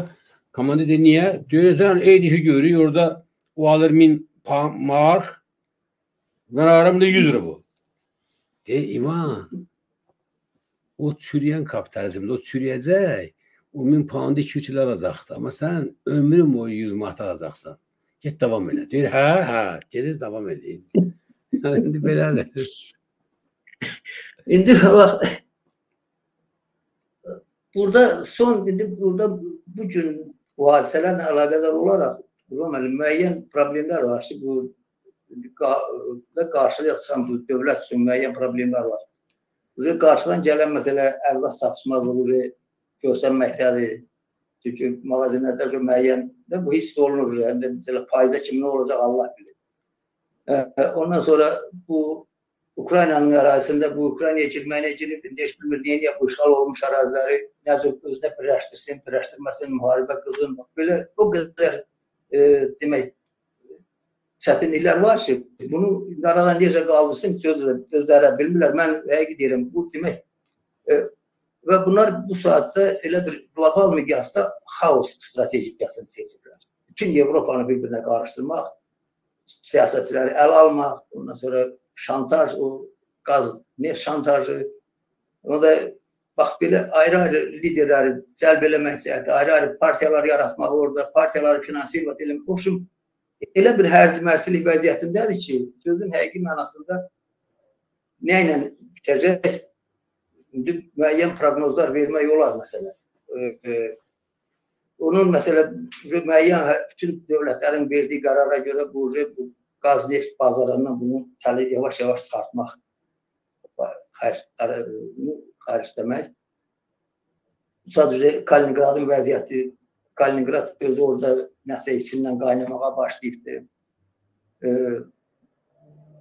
bu ölkə üzrə Qafqazda, Orta Asiyada nüfuzu yavaş-yavaş tamamilə itikməkdədir. Bəli. Ondan sonra e, e, uzaq şərqlə əlaqədar məsələ müəyyən böyük problemlər var. Baykal yanı ərazilərlə problemlər var. Çin bilmirsən nə yuvanın quşudur, nə gözdür. Yaponiyanın orada o adaların məsələsi var. O qədər demək və ən əsası da, ən əsası bu, mən bu senatın qəbul elədiyi qərar Rusiyanın terrorizmin sponsor dövlət kimi vermək çox belə qəliz məsələ. Əgər bu qəbul olsa, demək bunun vəziyyəti sözün həqiqi mənasında çox ağırlaşacaq və bu mən burada yaxşı da heç nə görmürəm bu vəziyyətdə sözün asılı bir növ istəyirəm ki, hə olsun da nətərdə nə qədər pis olsa bir elə yaxşıdır güya ki, amma başqa tərəfdən bu yaralanmış vəhşi məsələsi var. Başa düşürsünüz? Yaralı vəhşi, yaralı ayı bu məsələ Onu heç kim Amma yaralı olmadı getdiniz bu problem həll olmalıdır. Desək ki, Rusiyanın əslində baxsaq bilirsiniz Romer, bunu buna üzə girişiblər, üzə müharibə, bunu planı üzə qılıbdır. Rusiyanın siyasəti dəyişməlidir, siyasəti. Buna qarşı siyasət bəli. İndi bu müharibənin məqsədi bilirsiniz nədir? Bu, bu, bu müharibədə bilirsiniz Romer, belə bunun savadlıları da belə indi baş bilənləri belə deyəndə gör bu o məşğulatın sözü olmasın. Deyir mən baş bilən yarı oxumuşam, mən belə bilməyəndə bunlar necə bilsin. Piotrovski var da yəqin tanıyırsınız. Bilirsiniz nə deyir? Deyir e, e, demək bu müharibə deyir. Ukrayna müharibəsi deyir. Rusiya tarixi baxımdan özünü təsdiq üçün çox vacib. Ay ay. Qurban müəllim, adam sözün həqiqi mənasında dəhşətə gəlir. İndi bilmirsən bunda bu erməni xisləti bu eləyir ki, bu tez dağılsın, burada nəsə qoy əldə eləsin. Yoxsa bu dövlətin düşmənidir. Həqiqi deyirəm. Bu nə deməkdir ki, sən ağlın, sən bu boyda dövlətin, elə dövlətsin, dövlət də o muzey. E, nədir?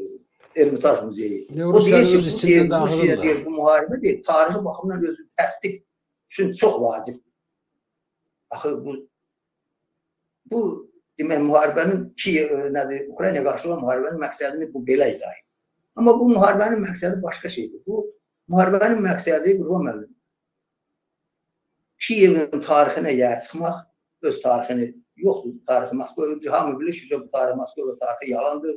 Rusiyanın o Kiyevə heç bir əlaqəsi yoxdur. Moskva Moskva ömür boyu bu Arda xanlığına, xanlara tabilikdə olub, dövlətdə deyil, Heç bu bunu arda quraşdırıb bu dövləti. Ondan başqa Qurban müəllim bir məqsəd də var. E, demək bunun e, nədir? Nədir?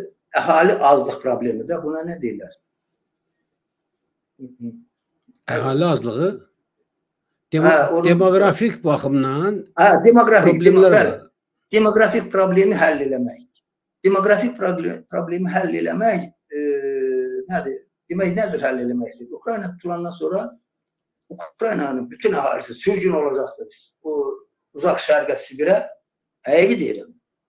Orada demək bu şimaldan, o dənizdən, nə bilim, Astaqlın ofisərlərdə hamısı gəlir rəhdi Ukrayna ərazisinə. Bax belə bir plan, iyrənc bir plan var. Ona görə bu çox belə e, İnşallah belə bir inşallah çatmaz arzularına. İnşallah çatmazlar. Qurban müəllim, mən bir neçə söz demək istəyərdim. Bizim 3 O dəqiqə vaxtımız var. Rusiyanı- Bizim 3 dəqiqə yetişmir. 3 dəqiqə. Hə, bəs elə 3 dəqiqə. O Rusiyaya tunelin sonundakı işığa baxan kimi baxanlar o bizimkilərə aiddir. Mən bunu onlara demək istəyirəm. Dostlar, bu haqda mən uzun-uzun danışaram. E, ayrı bir leksiya quraram buna, amma lazım deyil. Rusiyanın heç nəyi yoxdur. Nə elmi var, nə texnikası var, nə texnologiyası. Heç bir şey yoxdur. Mən bunu içində bilərək deyirəm. Elmi texnik texniki fikir yoxdur. Elmi texniki fikrin ifadəsi dedi ki, biz dedi heç nə lazım deyil, bizə icad eləmək, biz çap-çarap eləyib onlardan çap-çarap eləyib götürəcək. O çap-çarapa mənim bir məsələm var. E, biz tərəfdə bir məsəl işlənir. Deyir, itdən çox e, köhnə sarıq uğrayan yoxdur, köstək yalın gəlir. Mən o məsələ biraz dəyişmişəm. İtdən it nə qədər köhnə sarıq uğrasa da sarıq tikməyi öyrənə bilmir. O çap-çarapa eləməklə o texnologiyaya nail olmaq mümkün deyil. Gerdə qalmış dövlətdir və uje bu bütün dövlətlər sırasından bu uje geri çıxıbdır. Bu dövlət kimi çıxıb yox, bu dövlət uje dövlət ola bilməyəcəkdir. Bunun lazım tamam preformativası olub, tamam təzə formatda qurulmasından başqa yolu yoxdur. Bax bu günə bu qədər Qurban müəllim. Sağ olun. Dəvətinizə görə çox minnətdaram, çox sağ olun. Mən sizə minnətdaram. Burada e, deməli Rüstəm Zal adlı bizim hörmətli tamaşaçımız yazır ki, Rüstəm müəllimin söhbətindən insan doymur. Mən sizə Rüstəm müəllim minnətdaram. Həqiqətən də bu gün çox gözəl, vacib bir mövzunu gündəmə gətirdiniz. Əsən vətənlər, Bir dəqiqə. e, deməli Rüstəm müəllimin bu gün sizin diqqətinizə təqdim etdiyi bu mövzu olduqca vacib mövzudur. O görə mən sizdən çox xahiş edirəm bugünkü verişimizi e, təbii ki, ağır mövzudur. Dinlənilməsi, dərk olunması müəyyən qabiliyyət tələb edir, səviyyə tələb edir və səbir tələb edir. Amma biz mütləq xalqımızı belə mövzulara arışmağa məcbur eləməliyik. Xalqımızın başına gələn bütün bəlalar, müsibətlər məhz Rüstəm müəllimin bu gün izah etdiyi metodlar ki var, ha, təqaüd metodları. Onları bilməməyindən irəli gəlir. Əgər onları biz bilsəydik, ən azı bizə qarşı düşmən tətbiq etdiyi metodları vaxtında görər, başa düşər və əks tədbirlər görərdik. Son söz buyurun. Son söz Qurban müəllim, e, son söz biraz çatdıra bilmədik. Onlardan o bu metodlardan özünü qorumaq üsulları Onu bu gələn dəfə saxlayarıq. Nə olar ki? O, indi bir vaxtda onun haqqında da danışarıq. İnşallah. Hə, demək belə idi də bir vaxt var idi ki, apardılar bir kabinetdə dərs deyirlər ki, nədir eləyəsən ki, təbliğatına inansınlar. Sonra birisi deyirdi ki, nədir eləyəsən ki, özün o təbliğata düşməyəsən. Başqasının təbliğatına. Əla, gözəl. Sağ olsun. İndi vaxt olar. Onu ayrıca mövzu eləyərik. edərik. O özü də böyük, böyük bir mövzudur. Düşmən təbliğatından belə deyək, yayınmağın, qorunmağın üsulları və yolları. Heç olmasa, heç olmasa ona vaxt olar Allah qoysa. Heç olmasa bir, bir saatını müəyyən bir vaxt ayırıb bir saat İnşallah. vaxt heç olmasa ayırarıq, danışarıq o haqda. İstəsəz lap sabah Sağ davam edək. Sabah üçüncü gündür. Bir saatini, bir saat kifayət edər ona. Məncə kifayət eləyər, bəli Qurban müəllim. Ha, oldu. Bir saat onda sizlə bunu davam edərik. Sabah başqa bizim mövzularımız və qonaqlarımız var. Sonra keçərik başqa mövzuya biz. İstəyirsiniz onda belə eləyək. Buyurun. Siz sabah o qonaqlarınızı çağırın, mən də biraz dincəlim. Hə, oldu. Olar, bir gün işte, bir gün, iki gün keçsin, sonra Allah Olar. qoysa Olar. Olar. söhbət eləyərik. Olar, oldu. Təşəkkürlər. Mən sizə minnətdaram. Çox, Çox sağ olun. Var Qurban olun, müəllim, çox sağ olun. Əziz vətənlər, dəyərli dostlar, hörmətli xanımlar və bəylər, mən e, hörmətli Rüstəm müəllimə Azərbaycan ailəsi adından öz təşəkkürümü bildirirəm, minə- minnətdarlığımı bildirirəm. Həqiqətən də çox faydalı bir söhbət oldu. Bugünkü bizim bu verilişi bir neçə dəfə e, baxmaq lazımdır. Bunu unutmayın. Öncə özünüz baxın. Mənimseyin, sonra da başqalarına tövsiyə edin. Gidəniz xeyrə qalsın. Allah aman olun. Var olun. Sabah saat 21.00-da görüşmək ümidi ilə sağlıqla.